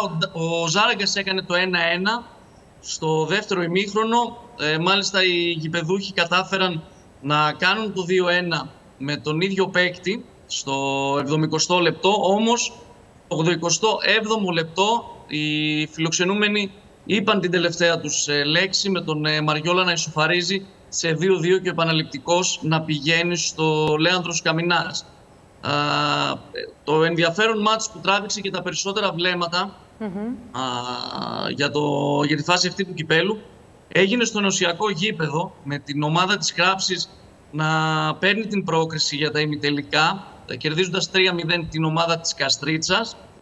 Χάρη στα τέρματα που σημείωσαν αρχικά ο Χριστακόπουλος μέσα από την ε, περιοχή για να ακολουθήσουν άλλα δύο από τον ε, Σταμούλη και το νου για αντίστοιχα. Ένα μάτς που το περιμέναμε πολύ και με ύψιλον και με όμικρον ε, γιώτα Έλενα για να δούμε την ε, Κράψη να παραμένει αίτητη και σε πρωτάθλημα και σε κύπελο. Ε, πραγματικά αυτή η ομάδα του, του Βασίλης Σκιαφάκα τα πηγαίνει περίφημα ε, σε όλους τους ε, θεσμούς. μας εντυπωσιάζει και μας εκπλήσει. Η λογική λέει ότι θα τερματίσει πρώτη στον, στον πρώτο όμιλο της Α και θα διεκδικήσει όχι μόνο το πρωτάθλημα εδώ στα Γιάννενα, αλλά και την άνοδο στη ΓΑΜ Εθνική με τους αγώνες μπαράζ που θα ακολουθήσουν. Ολοκληρώνουμε την ε, τέταρτη φάση του κυπέλου με την ε, αναμέτρηση του Μετσόβου ε, με, αντίπαλους, με αντίπαλο τους Κουλιαράδες, mm μάτς το οποίο δεν έγινε στο Μέτσοβο λόγω των καιρικών συνθήκων και έγινε στο γήπεδο της Κρίας ε, με τους παίκτες του Αντώνη Δημητρίου να κάνουν την έκπληξη στο 45ο λεπτό και να παίρνουν το προβάδισμα με τον γκολ του Πίρτσιου. Όμως οι τυπικά γηπεδούχοι ευτύχησαν ε, να φτάσουν στην ολική ανατροπή με τον ε, Μπούγια και τον Τσουλιάη στο 81ο λεπτό. Μέσα σε 6 λεπτά οι παίκτες του κυρίου Κοντοδήμα Έλενα κατάφεραν να όχι μόνο να οδηγήσουν το μάτι σε επαναληπτικό, αλλά να πάρουν και την πρόκριση ε, μέσα σε ένα θεσμό που είναι στόχος για το Μέτσοβ όπως μου έχουν εκμυστηρευτεί οι παράγοντές του και απέναντί τους ε, πλέον θα βρουν την ομάδα της Κράψης στην επόμενη φάση. Μάλιστα. Ενδιαφέροντα παιχνίδια. Ε, το βλέμμα τώρα, όπως είπες, στρέφεται στους επόμενους αγώνες. Μπορείς να κάνεις καθόλου έτσι προβλέψεις ή είναι δύσκολο; Εντάξει, δεν μπορώ φυσικά να κάνω προβλέψεις. Ε, και στο ράδιο που κάναμε με τον ε, Ανδρέα Φιλιππούση κάναμε προβλέψεις για τα χθεσινά μάτς. Δύο στα τέσσερα είχα, ε, τρία στα τέσσερα είχε ο Ανδρέας. Ε, εντάξει, πίστεψα περισσότερο την Καστρίτσα, να σου πω την αλήθεια, στο χθεσινό μάτς, αλλά ε, με εξέθεσε και απ' την άλλη με εντυπωσίασε για ακόμη μια φορά η ομάδα της, ε, της Κράψης. Τώρα προβλέψεις για τον ε, θεσμό του κυπέλου, αυτό που μπορούμε να πούμε είναι ότι οι διασταυρώσεις μας επιτρέπουν ε, να κάνουμε το εξής. Η Κράψη θα παίξει με το Μέτσοβο στα, ε, στον πρώτο ημιτελικό και περιμένουμε να δούμε ε, τα τελικά αποτελέσματα ανάμεσα σε Κουτσελιό, Αμπελόκηπους και Σταυράκι με, κρα, με Κοσμηρά. Ε, εκτός συγκλονιστικού ε, απροόπτου, ε, όλα δείχνουν ότι η Κράψη εύκολα ή δύσκολα θα ξεπεράσει και το εμπόδιο α, του Μετσόβου. Άλλωστε δεν ε, δείχνει ότι κάποια ομάδα μπορεί να ανταγωνιστεί αυτό το πολύ πλούσιο ρόστερ που, ε, που έχει κράψει. Όμως ε, για το μάτς τόσο της Κοσμηράς όσο και του Κουτσελιού με τους Αμπελόκηπους είναι αμφίροπα. έχουν κίνητρο και οι Αμπελόκηποι και το Κουτσελιό που είναι ομάδες β' κατηγορίας και μία εκ των δύο θα πάρει την πρόκριση για τον δεύτερο ημιτελικό εκεί που θα αντιμετωπίσει σίγουρα μια ομάδα της Α και δεν αποκλείεται, ε, εάν μας το επιτρέψει φυσικά η ιστορία, που θα δούμε στη συνέχεια, να έχουμε και ομάδα Β κατηγορίας στον τελικό. Αυτό έχει να συμβεί πάρα πολλά χρόνια, από το 1996, όταν η Πράμαντα ήταν η ομάδα που είχε βρεθεί τότε σε, σε τελικό κυπέλου και κάτι που ε, έχει ενδιαφέρον, ε, ιδιαίτερο θα έλεγα, είναι ότι σε περίπτωση που η Κράψη κατακτήσει το, το κύπελο ερασιτεχνών της ΕΨΥΠ, ε, όπως φυσικά και το πρωτάθλημα, θα είναι η μοναδική ομάδα που έχει φτάσει σε τίτλο με τα λιγότερα χρόνια ιστορίας στον ποδοσφαιρικό χάρτη των Ιωαννίνων. Μάλιστα, μάλιστα. Λοιπόν, ε, πάμε λίγο στο Παζιάννη, να θέλεις; Ναι, πάμε και στον Παζιάννα, γιατί να μην ξεχάσουμε ότι μπορεί να μην έχουμε μάτς το Σαββατοκύριακο, αλλά θα γίνει τη Δευτέρα, mm-hmm. εκτός έδρας με την ε, ομάδα της Λαμίας. Και όπως ε, λέει και το ρεπορτάζ, έχουμε πολύ εντατική δουλειά από το ιατρικό επιτελείο του Συλλόγου, ε, με τελικό αποδέκτη τον ε, Μιλιντσιάνου, που είναι όλοι στραμμένοι πάνω του, ε, προκειμένου να αποκατασταθεί το, το πρόβλημα που ε, είχε από την αναμέτρηση με την ΕΑΕ και ήταν ένα μικρό τράβηγμα στο ισχύο. Έτσι συνεχίζονται οι αποθεραπείες ε, και αν επαληθευτούν οι προβλέψεις του κυρίου Ριστάνη μαζί με τον ε, κύριο Σκόρδο, τότε από αύριο ε, θα είναι και στη διάθεση του κυρίου Μεταξά. σήμερα είχαμε ρεπό για τους ε, παίκτες του, του Παζιάννα, οι οποίοι αύριο και το Σάββατο θα ολοκληρώσουν την ε, προετοιμασία τους. Και πότε αναχωρούν την Κυριακή; αναχωρούν την Κυριακή ε, με έτσι, θετική ψυχολογία θα έλεγα παρά την ήττα. Ναι, μεν υπάρχει αυτή η ξενέρα λόγω αποτελέσματος, όμως η εμφάνιση ε, ήταν εξίσου ενθαρρυντική. Ε, ας μην ξεχνάμε ότι ναι, παίζει σημαντικότερο ρόλο το αποτέλεσμα, δεν διαφωνώ ούτε κι εγώ ε, σε αυτό, όμως μόνο και μόνο που βλέπουμε ε, παίκτες του ΠΑΣ να πρωταγωνιστούν ε, τόσο στις καλύτερες ενδεκάδες των αγωνιστικών όσο και να βάζουν ε, παράλληλα υποψηφιότητα για καλύτερα βραβεία, για, για βραβεία καλύτερου παίκτη ας πούμε για τον Νοέμβριο όπως είναι ο Περέα, τότε μόνο αισιόδοξος ε, και αισιόδοξοι μπορούμε να είμαστε. Ε, είναι μονάδες και άλλωστε που... κάνει, όπως είπες, καλές εμφανίσεις. Δεν είναι ότι ο Παζιάννα δεν παίζει καλά και χάνει. Mm. Τουλάχιστον το πολεμάει, το παλεύει. Και απέναντι σε μεγάλες ομάδες. Και αυτό έχει σημασία. Ναι, φυσικά. Ο στόχος ε, άλλωστε και του κυρίου Μεταξά είναι να μπορεί ο Παζιάννα με βάση τη δουλειά που γίνεται να κοντράρει στα ίσια και τις ε, μεγάλες ομάδες. Αυτό σε ένα βαθμό, με συγχωρείτε, το έχουμε δει ε, στο φετινό πρωτάθλημα. Στις λεπτομέρειες έχει χαθεί και το μάτς με την ΑΕΚ αλλά και εκείνο ε, με τον Ολυμπιακό και έτσι κάνοντας μια αποτίμηση σύντομη Έλενα, ε, μόνο με τον Ολυμπιακό μπορούμε να πούμε ότι η ομάδα ε, έτσι λίγο δεν είχε τη διάρκεια που είχε σε όλα τα, τα υπόλοιπα μάτς ε, και γι' αυτό δεν πήρε και τίποτα από την αναμέτρηση. Σωστά.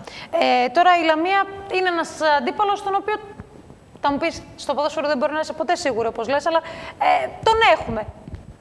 Είναι μια ομάδα που μπορούμε να πάμε να πάρουμε τους τρεις βαθμούς.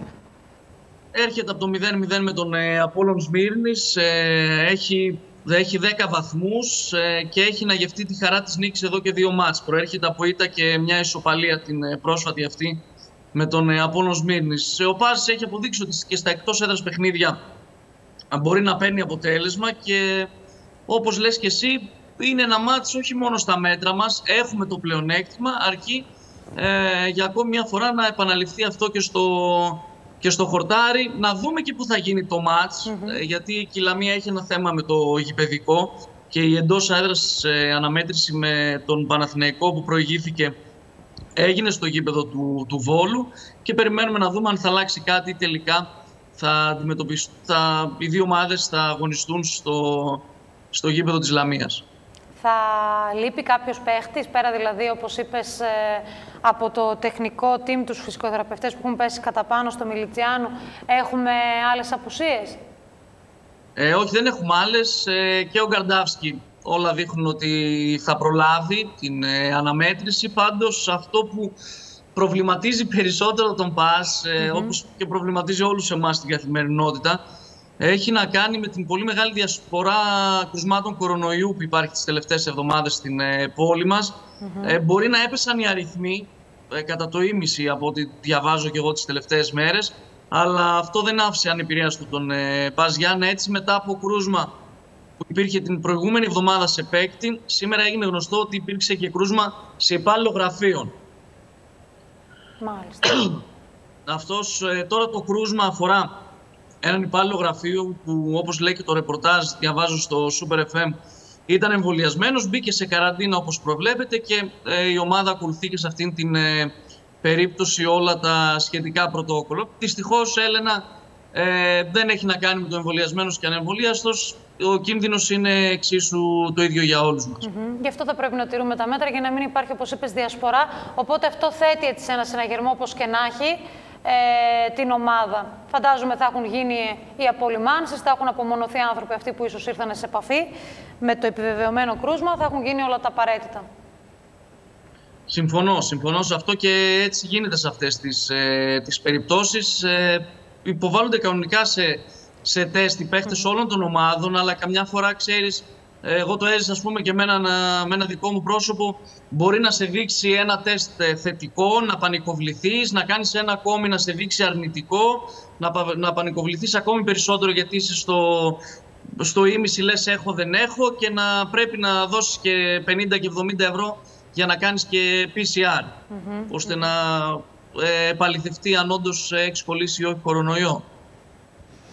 Καλά, πλέον θέλει πάρα πολύ προσοχή. Ακόμη και όπως είπες, ε, μπορεί γίνονται και λάθη ή αν είναι πολύ νωρίς μπορεί να μην βγαίνει. Δηλαδή να μην βγαίνεις ενώ είσαι έτσι φορέας νοσής, να μην βγαίνει θετικό το τεστ, οπότε να πρέπει να περιμένεις λίγες περισσότερες ημέρες. Όπως και να έχει, θα πρέπει να φερόμαστε σαν να νοσούμε, σαν να είμαστε φορείς, για να είμαστε προστατευμένοι όλοι. Ή με το παραμικρό σύμπτωμα, λίγο μπούκομα, α, δεν ξέρω τι μπορεί να είναι αυτό, καταρροή, ανοσμία, οτιδήποτε. Καλό θα είναι να κάνουμε τα τεστάκια μας για να είμαστε όλοι προστατευμένοι. Μάλιστα, Πέτρο. Θα έχουμε περισσότερα να πούμε για την αυριανή αναμέτρηση, για την, αύριο μάλλον για την αναμέτρηση της Δευτέρας.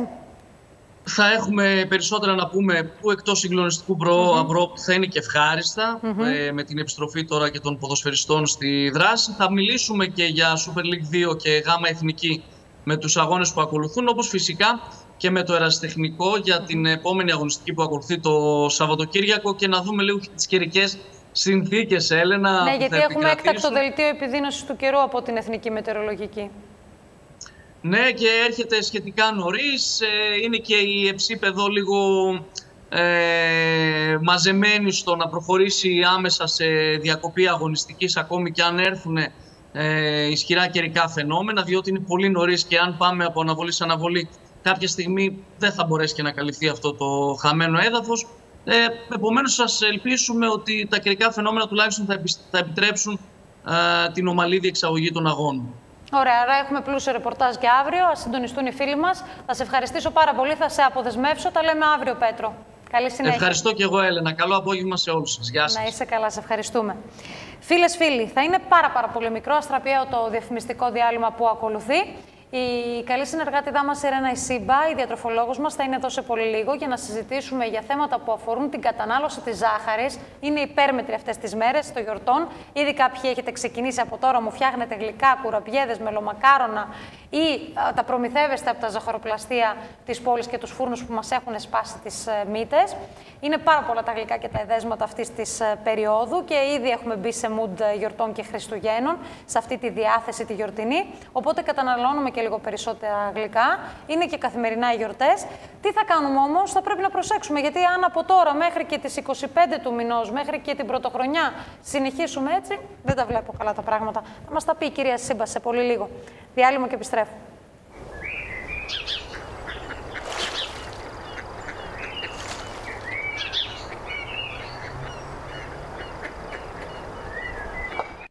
Πόσα είναι τα βασικά χρώματα; Πόσες είναι οι βασικές αποχρώσεις τους; Πόσες είναι οι τεχνικές αποτυπώσει τους; Πώς επιλέγουμε το κατάλληλο χρώμα για κάθε χώρο του σπιτιού; Επειδή ο κόσμος δεν είναι ασπρόμαυρος, πολλά τα ερωτήματα, μία η επιλογή. Χρώμο επιλογή Πολύβιο Καρά. Εδώ βρίσκει την απάντησή του κάθε ερώτημα. Τη λύση του κάθε πρόβλημα. Η βαφή εναρμονίζεται με το περιβάλλον. Η τεχνοτροπία αποπνέει φινέτσα. Χρώμοεπιλογή Πολύβιο Καρά. Δημιουργείς. Επισκευάζεις. Αναπαλαιώνεις. Ανακαινίζεις. Με τη βοήθεια και την καθοδήγηση έμπειρων τεχνητών. Χρώμοεπιλογή Πολύβιο Καράς. Γεωργίου Παπανδρέου 71. Τηλέφωνο 26510 21443. Με άνετο πάρκινγκ για πιο εύκολες αγορές. Επισκεφτείτε μας στην ηλεκτρονική μας σελίδα www.χρωμοεπιλογή.gr Χρωμοεπιλογή Πολύβιος Καράς. Η επιλογή είναι δική σου. Όταν οι επιθυμίες για τελειότητα δεν περιορίζονται. Η ανάγκη για πείρα και εξειδίκευση είναι αδιαπραγμάτευτη. Η επιλογή είναι μία. Νικόλαος Τζιάκος ΑΕ.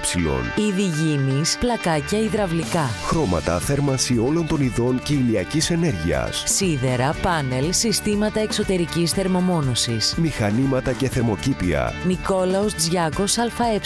Προτάσεις υψηλής αισθητικής για το μπάνιο. Με υπογραφές των καλύτερων εταιριών. Αντιπροσώπευση από το 1968. Νικόλαος Τζιάκος ΑΕ. Στα Ιωάννινα, 7ο χιλιόμετρο Ιωαννίνων Αθηνών. Τηλέφωνα 2651 0 85 185 186 και 187. Και στη Φιλιππιάδα, Σόλωνος Γκίκα 50. Τηλέφωνα 2683 0 22 588 και 22 852. Και στο ίντερνετ www.giakos.gr Νικόλαος Τζιάκος ΑΕ.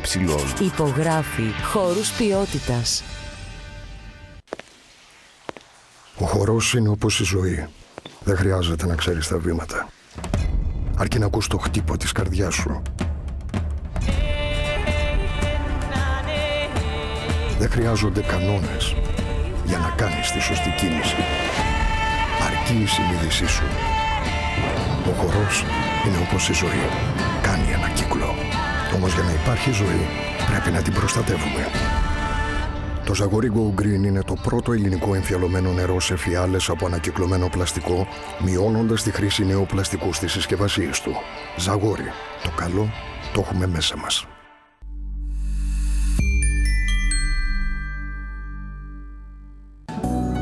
Mountains, το μεγαλύτερο κατάστημα ειδικού εξοπλισμού στα Γιάννενα. Αν είστε λάτρεις της φύσης, στο κατάστημα Mountains θα βρείτε αυτό που ζητάτε. Mountains. Διαθέτουμε το πιο σύγχρονο εξοπλισμό για ορειβασία και υπαίθριους περιπάτους. Mountains. Τα πάντα για το κυνήγι, το ψάρεμα, την κατάδυση και το κάμπινγκ.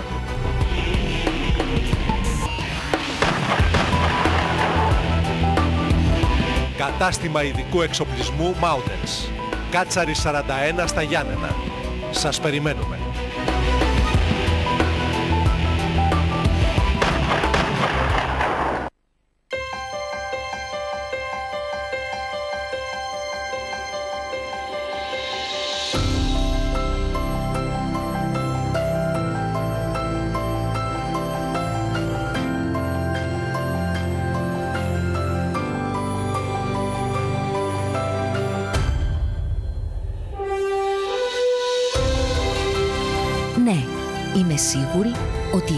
Τη σωστή επιλογή.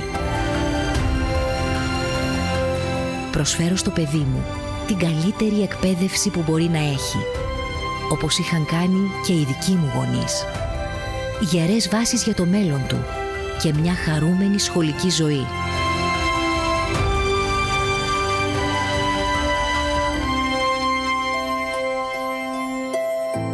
Εκπαιδευτήρια Όλγα Ντότι Οικονόμου. 45 χρόνια. Χτίζουμε γερά θεμέλια με γνώσεις και αξίες.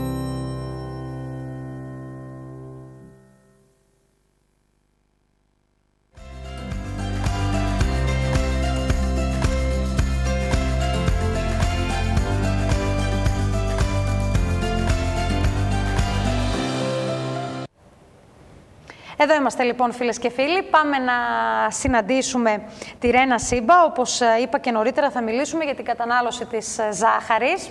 Μέρες ε, γιορτών έρχονται, μήνας γιορτών ο Δεκέμβρης ούτως ή άλλως και ήδη έχουμε ξεκινήσει έτσι τα γιορτινά εδέσματα. Κάποιοι τα ετοιμάζουν στα σπίτια, κάποιοι τα αγοράζουν από τα ζαχαροπλαστεία της πόλης και τους φούρνους που σχομυρίζουν κατά τα άλλα. Όμως, τι θα γίνει, Ρένα μου, αν ξεκινήσουμε από τώρα να καταναλώνουμε έτσι καθημερινά, καθημερινά ζάχαρη μέχρι και τις γιορτές; Τι μπορεί αυτό να σημάνει για την υγεία και το σώμα μας; Καλησπέρα Έλληνα, σε σένα και στο, στους τηλεθεατές μας που μας ε, παρακολουθούν. Καλό μήνα σε όλους. Καλό μήνα. Ε, είναι ένας μήνας που πραγματικά καταναλώνουμε αρκετά παραπάνω, αρκετή παραπάνω ποσότητα ζάχαρης το μήνα Δεκέμβρη μιας και είναι οι περισσότερες γιορτές αυτό το μήνα του χρόνου. Έτσι λοιπόν, με αυτή την ευκαιρία, Έλενα, είπαμε να μιλήσουμε λιγάκι για την ποσότητα της ζάχαρης, όχι απλά ποσότητα, υπέρμετρη ποσότητα ζάχαρης ε, που καταναλώνουμε γενικότερα μέσα στο χρόνο. Και πραγματικά αυτό δεν είναι μόνο παραπάνω κιλά, αθρηστικά αν το δούμε μέσα στο έτος, ε, είναι, κρύβονται πίσω από αυτό, πίσω από αυτή τη συνήθεια, κρύβονται πολύ κίνδυνοι για την υγεία μας. Ε, και καλό θα είναι να τους εντοπίσουμε σήμερα ε, και να δούμε πώς μπορούμε να το ανατρέψουμε όλο αυτό. Ε, σαν μια συμπεριφορά που πραγματικά μπορούμε έτσι με κάποια μικρά tips να βοηθήσουμε τον κόσμο να καταναλώνει λιγότερη ζάχαρη. Ζάχαρη, η οποία δεν την καταναλώνουμε μόνο, όπως είπα, από τα γλυκά και από τα εδέσματα κλπ. Βρίσκεται παντού πλέον. Βρίσκεται παντού ακόμα, είναι και κρυφή δηλαδή, σε πράγματα που θεωρούμε ότι μπορεί να μην περιέχουν ζάχαρη και όμως να υπάρχει. Άρα αθρηστικά η ζάχαρη που καταναλώνουμε είναι πολύ όπως λες. Δεν είναι μόνο τα κουταλάκια του γλυκού ή της σούπας που μπορεί να βάλουμε ή τα φιτζάνια που μπορεί να καταναλώσουμε σε ένα ρόφημα ή σε κάποια συνταγή που θέλουμε να εκτελέσουμε. Ε, είναι και τρόφιμα, όπως ε, είπες, ε, στα οποία κυρίως όμως τυποποιημένα τρόφιμα, Έλενα, που περιέχουν όντως κρυφτή ζάχαρη ε, και όλα αυτά θα τα πούμε σήμερα και θα αναλύσουμε λιγάκι ίσως και ονομασίες που ο κόσμος δεν γνωρίζει που μπορεί να, να είναι ζάχαρη σε ένα τρόφιμο.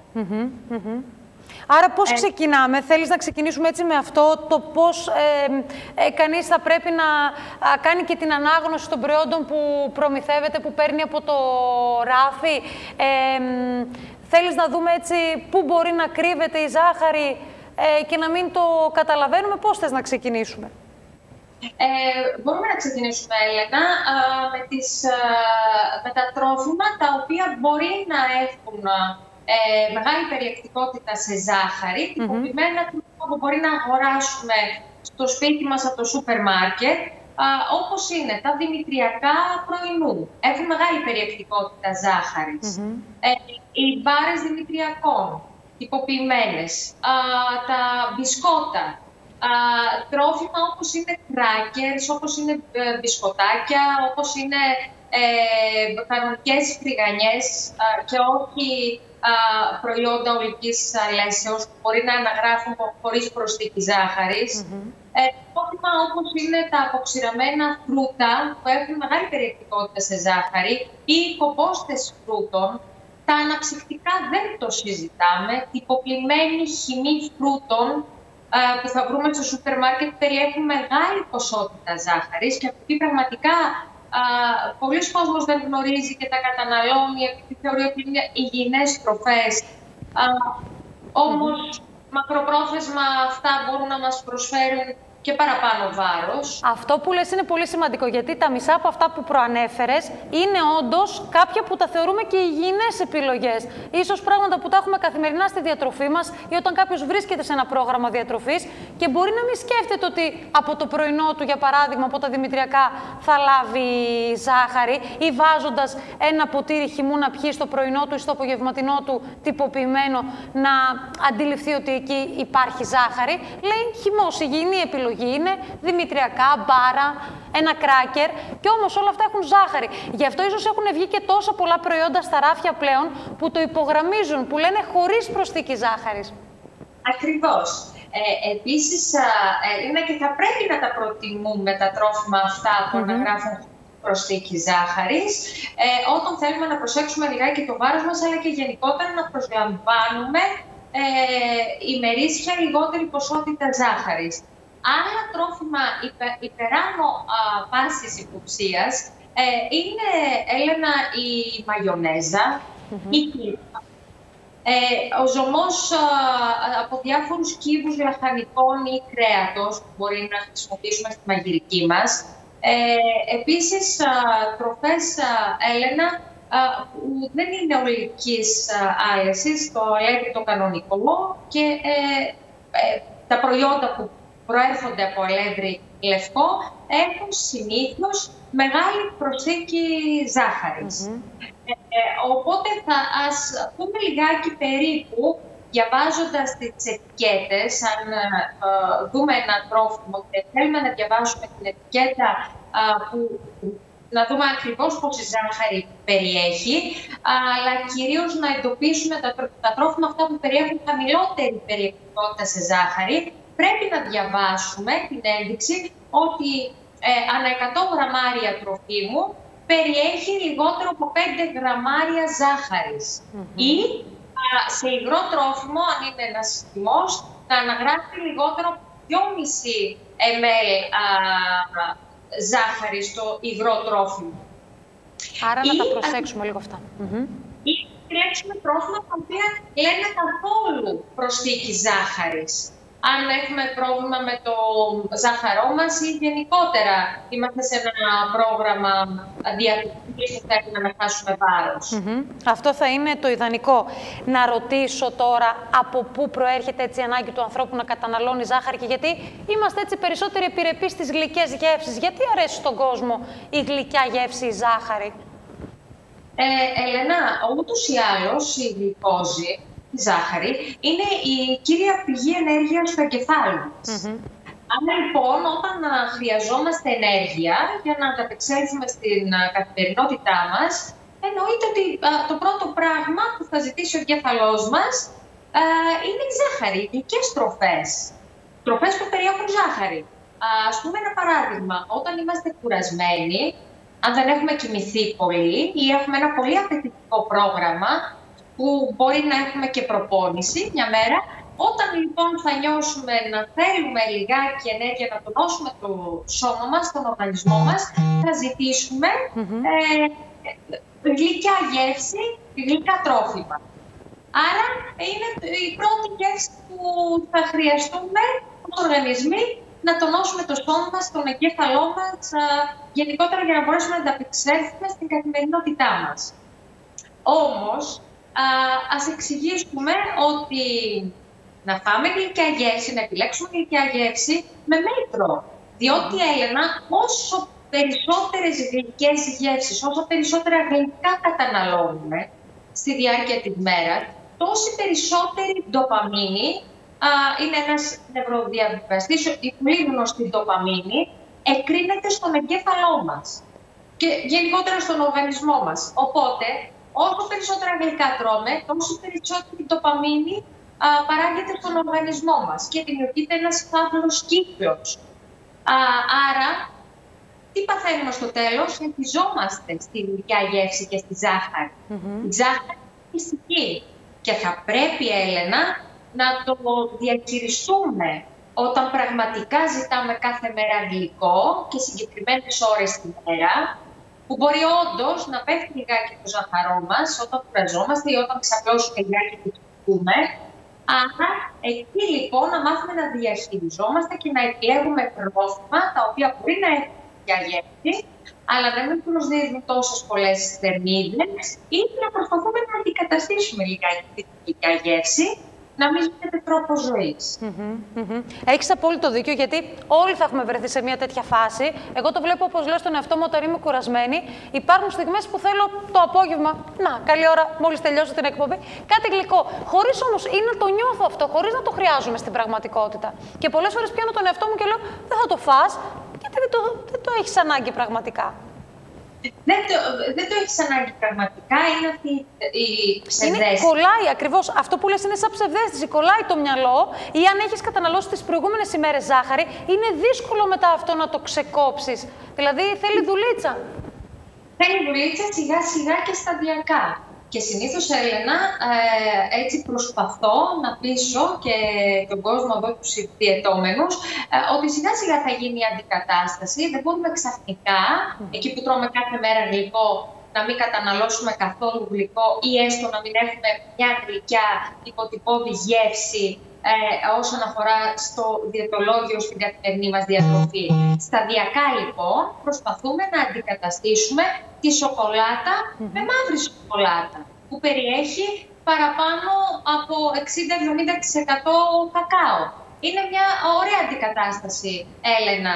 Ή ας πούμε αποξηραμένα φρούτα που μπορεί να καταναλώσουμε σαν σνακ, ας επιλέξουμε ε, αποξηραμένα φρούτα χωρίς ζάχαρη.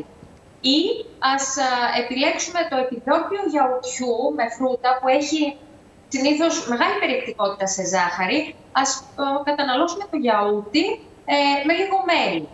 Ε, ή ας βάλουμε ένα φρέσκο φρούτο μέσα, ή, ή μπανάνα, μισή μπανάνα, μία μπανάνα. Τουλάχιστον να προσπαθήσουμε σταδιακά να μειώσουμε τα ζάχαρα, την πρόβληψη της ζάχαρης, σταδιακά και έτσι, Έλενα, θα μπορέσουμε να αποτοξινωθούμε, γιατί πραγματικά α, γίνεται αυτός ο εθισμός της καθημερινής κατανάλωσης θα πρέπει να γίνει σταδιακά και με συγκεκριμένο τρόπο. Λοιπόν, ένα ωραίο μήνυμα έχει ως εξής. Ρωτάει η φίλη τηλεθεάτρια, όταν έχουμε στο πρόγραμμά μας το φρούτο, το τρώμε και το γλυκό ή αφαιρούμε ένα από τα δύο; Και τα δύο. Και συνήθως, Έλενα, θα το εξηγήσω.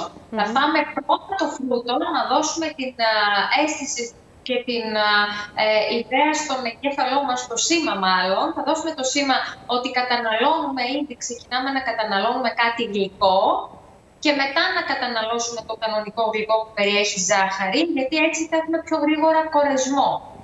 Ε, την άμα, οι φυτικές στήνες που περιέχει το φρούτο, οποιοδήποτε αυτό ε, θα ισορροπήσουμε καλύτερα την ε, γλυκόζη στο αίμα και θα έχουμε ε, πιο σταθερά επίπεδα όσον αφορά την, τα επίπεδα γλυκόζης στο αίμα μας. Και πρέπει να έχουμε τέτοιο συνδυασμό. Δηλαδή, συνήθως λέμε, Έλενα, ας καταναλώσουμε το γλυκό μετά το φαγητό. Γιατί συνήθως στο κυρίως γεύμα έχουμε και σαλάτα, φυτικές τσίνες. άρα θα ισορροπηθεί καλύτερα και πολύ πιο γρήγορα θα έχουμε ισορροπία της καμπύλης γλυκόζης στον οργανισμό μας και δεν θα πάμε σε, και σε δεύτερο γλυκό ή δεν θα καταναλώσουμε μεγαλύτερη ποσότητα γλυκού εάν είμαστε φορτάτοι. Συνήθω, Έλενα, όταν είμαστε νηστικοί και καταναλώσουμε ένα γλυκό χωρίς ε, το συνδυασμό του φρούτου ή α, του κυρίου γεύματος, θα φάμε και δεύτερο γλυκό. Ε, ή αυτό θα μας προκαλέσει μια λιγούρα και μετά θα θέλουμε να φάμε. Δηλαδή, και αυτό ε, εξηγείται, έχει επιστημονική εξήγηση, διότι η μεγάλη κατανάλωση γλυκών ή και η καθημερινή κατανάλωση ζάχαρη πέρα από τις συνιστόμενες ε, συστάσεις που είναι διατροφολόγοι, αλλά και γενικότερα ο Παγκόσμιος Οργανισμός Υγείας, ε, διαπεράσει λιγάκι και την, μια συγκεκριμένη ορμόνη του οργανισμού μας, τη λεπτίνη. Η, η συγκεκριμένη αυτή ορμόνη α, δίνει την αίσθηση του κορεσμού. Όταν εμείς τρώμε πολλά γλυκά, διαταράσσεται αυτή η ορμόνη μας α, στο σώμα και συνήθως α, τρώμε γλυκό και ξαναθέλουμε να φάμε γλυκό και αυτό είναι, όπως είπαμε, ένας παύλος κύκλος Ε, που μετά πάμε σε τσιπολόγημα, μετά πάμε σε φαγητό, εναλλαγή γλυκού και αλμυρού. Φτάνουμε σε υπερφαγία. Και έχει αποδειχθεί αυτό ότι έτσι συμπεριφέρεται η παραπάνω κατανάλωση ζάχαρη στο σώμα μας. Ε, φτάνουμε πέρα από τα σοβαρά προβλήματα, σοβαρά, σοβαρές ασθένειες, όπως είναι ο ζαχαρόδης διαβήτης, όταν καταναλώνουμε μεγάλες ποσότητες, γενικότερα η παχυσαρκία Έλενα, ε, τιμές υψηλές σε ζάχαρο, σε υπέρταση κάνουμε όταν έχουμε για μεγάλο χρονικό διάστημα κατανάλωση μεγάλων ποσοτήτων ζάχαρης, ε, χρόνια φλεγμονή, είναι πολλά τα νοσήματα. Α, όμως, ε, διατροφολογικά πραγματικά μας ενδιαφέρει και αυτό το κομμάτι της υπερφαγίας που δημιουργούμε ε, υπάρχει μεγάλη κατανάλωση α, ζάχαρης ή της γλυκιάς γεύσης που διαταράσσει και την ε, ισορροπία της γλυκόζης στο αίμα μας. ε, με υψηλά επίπεδα ή και με υπογλυκαιμίες. Γι' αυτό συνήθως Έλενα λέμε μικρά συχνά γεύματα, για να έχουμε σωστά επίπεδα γλυκόζης στο αίμα μας και να μην ζητάμε αυτό το γλυκό. Ή όταν κοιτάμε τόσο γλυκιά γεύση, ας προσπαθούμε να αντικαταστήσουμε λιγάκι τη γλυκιά γεύση, αυτή τη ζάχαρης, ε, κάποια υποκατάστατα, φρέσκα φρούτα. Αυτό θα έλεγα. Τι μπορούσε να είναι αυτά, έτσι μπορείς να μας δώσεις κάποιες προτάσεις ή για κάποιον που έχει σε καθημερινή βάση το γλυκό στη ζωή του, πώς μπορεί να το ελαττώσει, πώς μπορεί να το μειώσει, ποιες θα είναι εκείνες οι υγιεινές επιλογές που θα αντικαταστήσουν το γλυκό; Ε, Έλενα, είπα λιγάκι για τη μαύρη σοκολάτα. Mm. Πραγματικά Είσαι υπέρ, αν και οι θερμίδες είναι ίδιες με την γάλακτος, έτσι. Ε, σίγουρα, όμως μας ενδιαφέρει η ποιότητα της τροφής. Ε, η μαύρη σοκολάτα έχει πολύ περισσότερη περιεκτικότητα σε κακάο, που είναι πολύ πιο ωφέλιμο από την σοκολάτα του γάλακτος, που έχει μέσα και λίπος. Ε, άρα, προτιμότερο να φάμε ε, μισή μικρή, μια μικρή ε, σοκολάτα υγείας, 40 γραμμάρια, και να τη συνδυάσουμε Έλενα με ένα φρούτο ή με λίγους ξηρούς καρπούς, που περιέχουν αρκετές φυτικές ίνες, αυτό που είπαμε νωρίτερα, είναι ένα σωστό συνδυασμός που θα μας δώσει αυτή την αίσθηση και του γλυκού, αλλά θα καλύψουμε και τις ανάγκες για ενέργεια α, που έχει το σώμα μας σε οποιοδήποτε σνακ, είτε είναι στο δεκατιανό, είτε είναι το απόγευμα, είτε φύγουμε για προπόνηση που έχουμε αυτή την ανάγκη για ενέργεια και υψηλή έτσι, κάλυψη όσον αφορά τα επίπεδα της γλυκόζης. Επίσης, αυτό που είπα πριν, το γιαούρτι με το μέλι είναι ένας πολύ ωραίος συνδυασμός και με τους σκληρού καρπούς. Ή επίσης, Έλενα, ωραία σνακ μπορούμε να φτιάξουμε και μόνο στο σπίτι, που να μην χρησιμοποιήσουμε ζάχαρη. Mm-hmm. Ένα σπιτικό κέικ, Έλενα, που μπορεί να μην βάλουμε καθόλου ζάχαρη.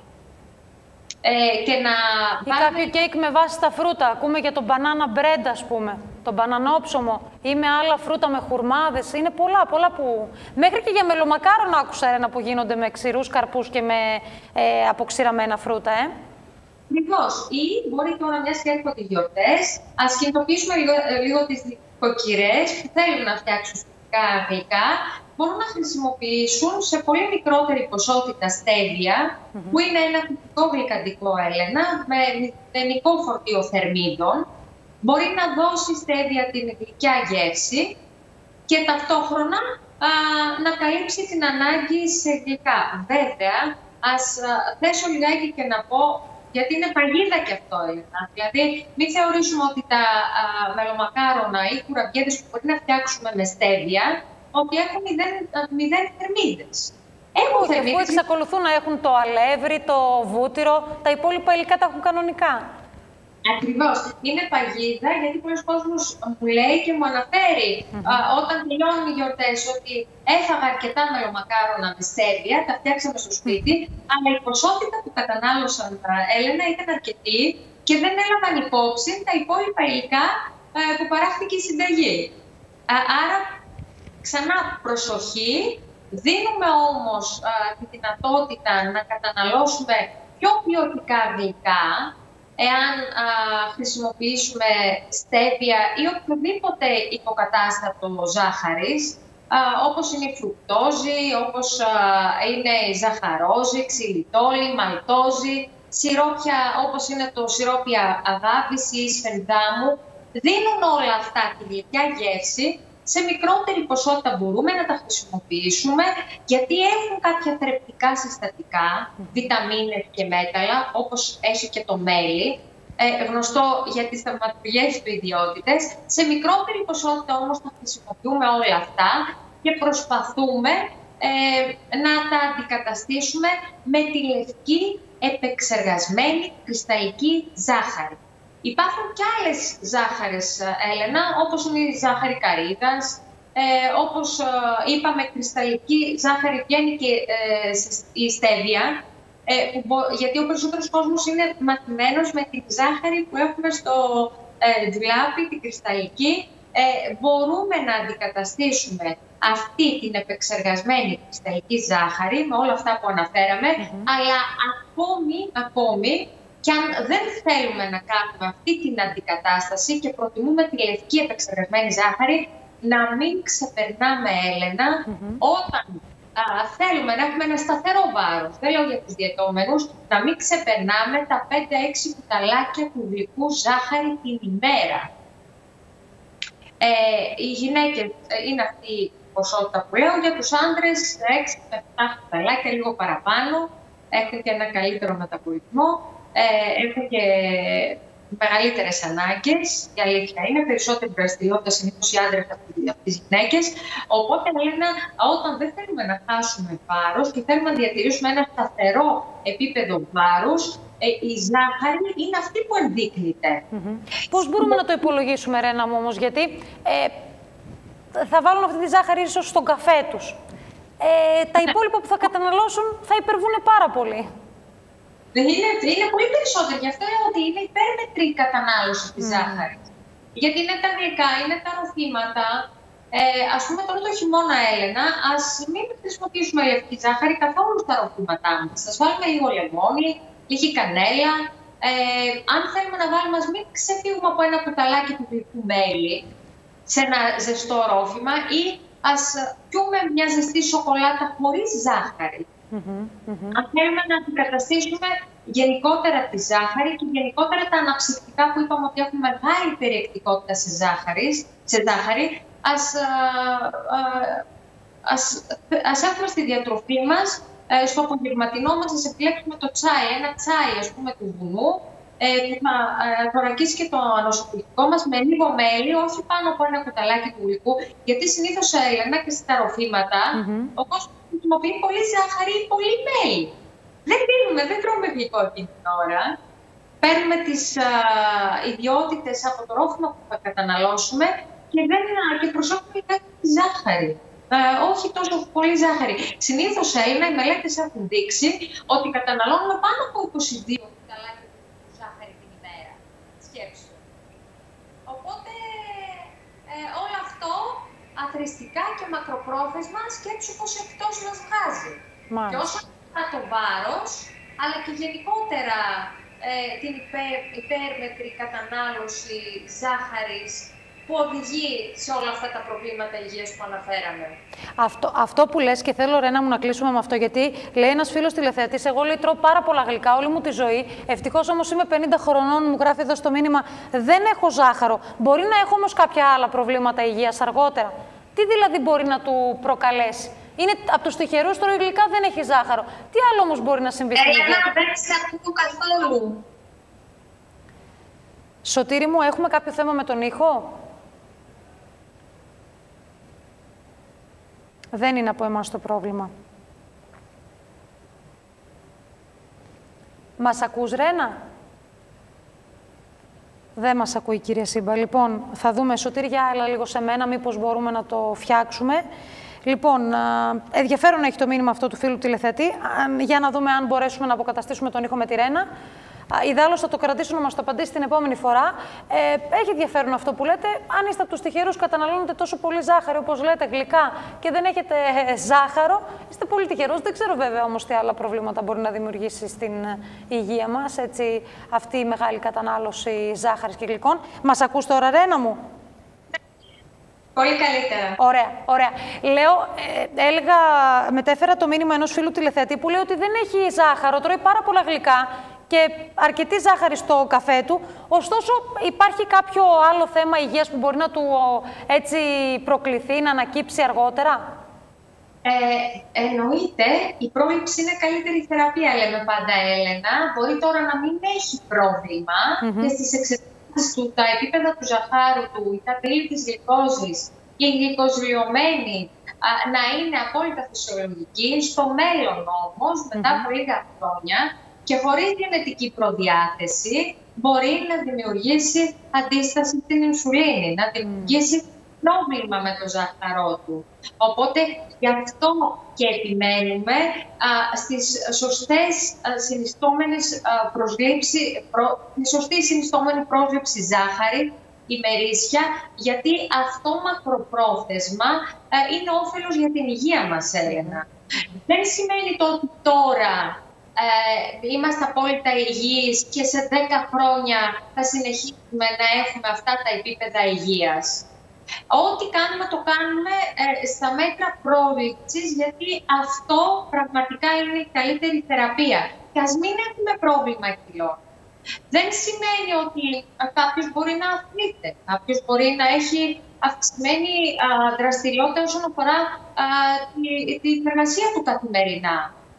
Δεν σημαίνει ότι μπορεί να τρώει πολύ μεγάλες ποσότητες ζάχαρης ε, γιατί δεν βάζει ε, στο μέλλον όμως μπορεί να δημιουργήσει όλα αυτά που είπαμε και ε, το ζάχαρο και χρόνια φλεγμονή ε, και προβλήματα όσον αφορά τα λιπίδια, γιατί συνήθως κάποιος που τρώει πολλά γλυκά, Έλενα, μέσω των γλυκών δεν παίρνουμε μόνο ζάχαρη, παίρνουμε και λίπος. Άρα είναι και τα τριγλικερίδια, τα λιπίδια στο σώμα. Ε, είναι λίγο παγίδα όλο αυτό. Πρέπει πραγματικά ένα γλυκό που το έχει ανάγκη ο οργανισμό στο απόγευμα, ας το καταναλώσουμε ε, στην κανονική ποσότητα, στη μερίδα που μας ε, επιτρέπεται, μαζί με ένα φρούτο, όπως είπαμε, συνδυαστικά, ή να φάμε ένα γλυκό, ένα επιδόκιο μετά το γεύμα μας. Ε, αυτό δεν είναι μια λάθος διατροφική συμπεριφορά. Το να βάζουμε όμως στον καφέ μας πέντε κουταλιές στη σούπας ζάχαρης, ή τρεις κουταλιές είναι αρκετό και να πίνουμε πέντε καφέδες την ημέρα, γιατί έτσι, έτσι έχουμε συνηθίσει. Ή πέρα από το γλυκό το απόγευμα, να, να βάζουμε στο ρόπιμά μας άλλες τρεις κουταλιές της σούπας. Είναι πολλοί κόσμοι που το κάνει αυτό ε, σε ποσότητα ζάχαρης. Η ζάχαρη και η ζάχαρη δεν μας προσφέρει κάτι. Μόνο θερμίδες. Δεν έχει κάποια, ειδικά η λευκή ζάχαρη, πιο καστανή, πιο σκούρα ζάχαρη, έχει κάποιες βιταμίνες, κάποιο, κάποια υποστοιχεία, γι' αυτό και συνήθως ε, να συνιστούμε, Έλενα, σε σχέση με την λευκή ζάχαρη που είναι εντελώς επεξεργασμένη και δεν προσδίδει κανένα θρεπτικό συστατικό.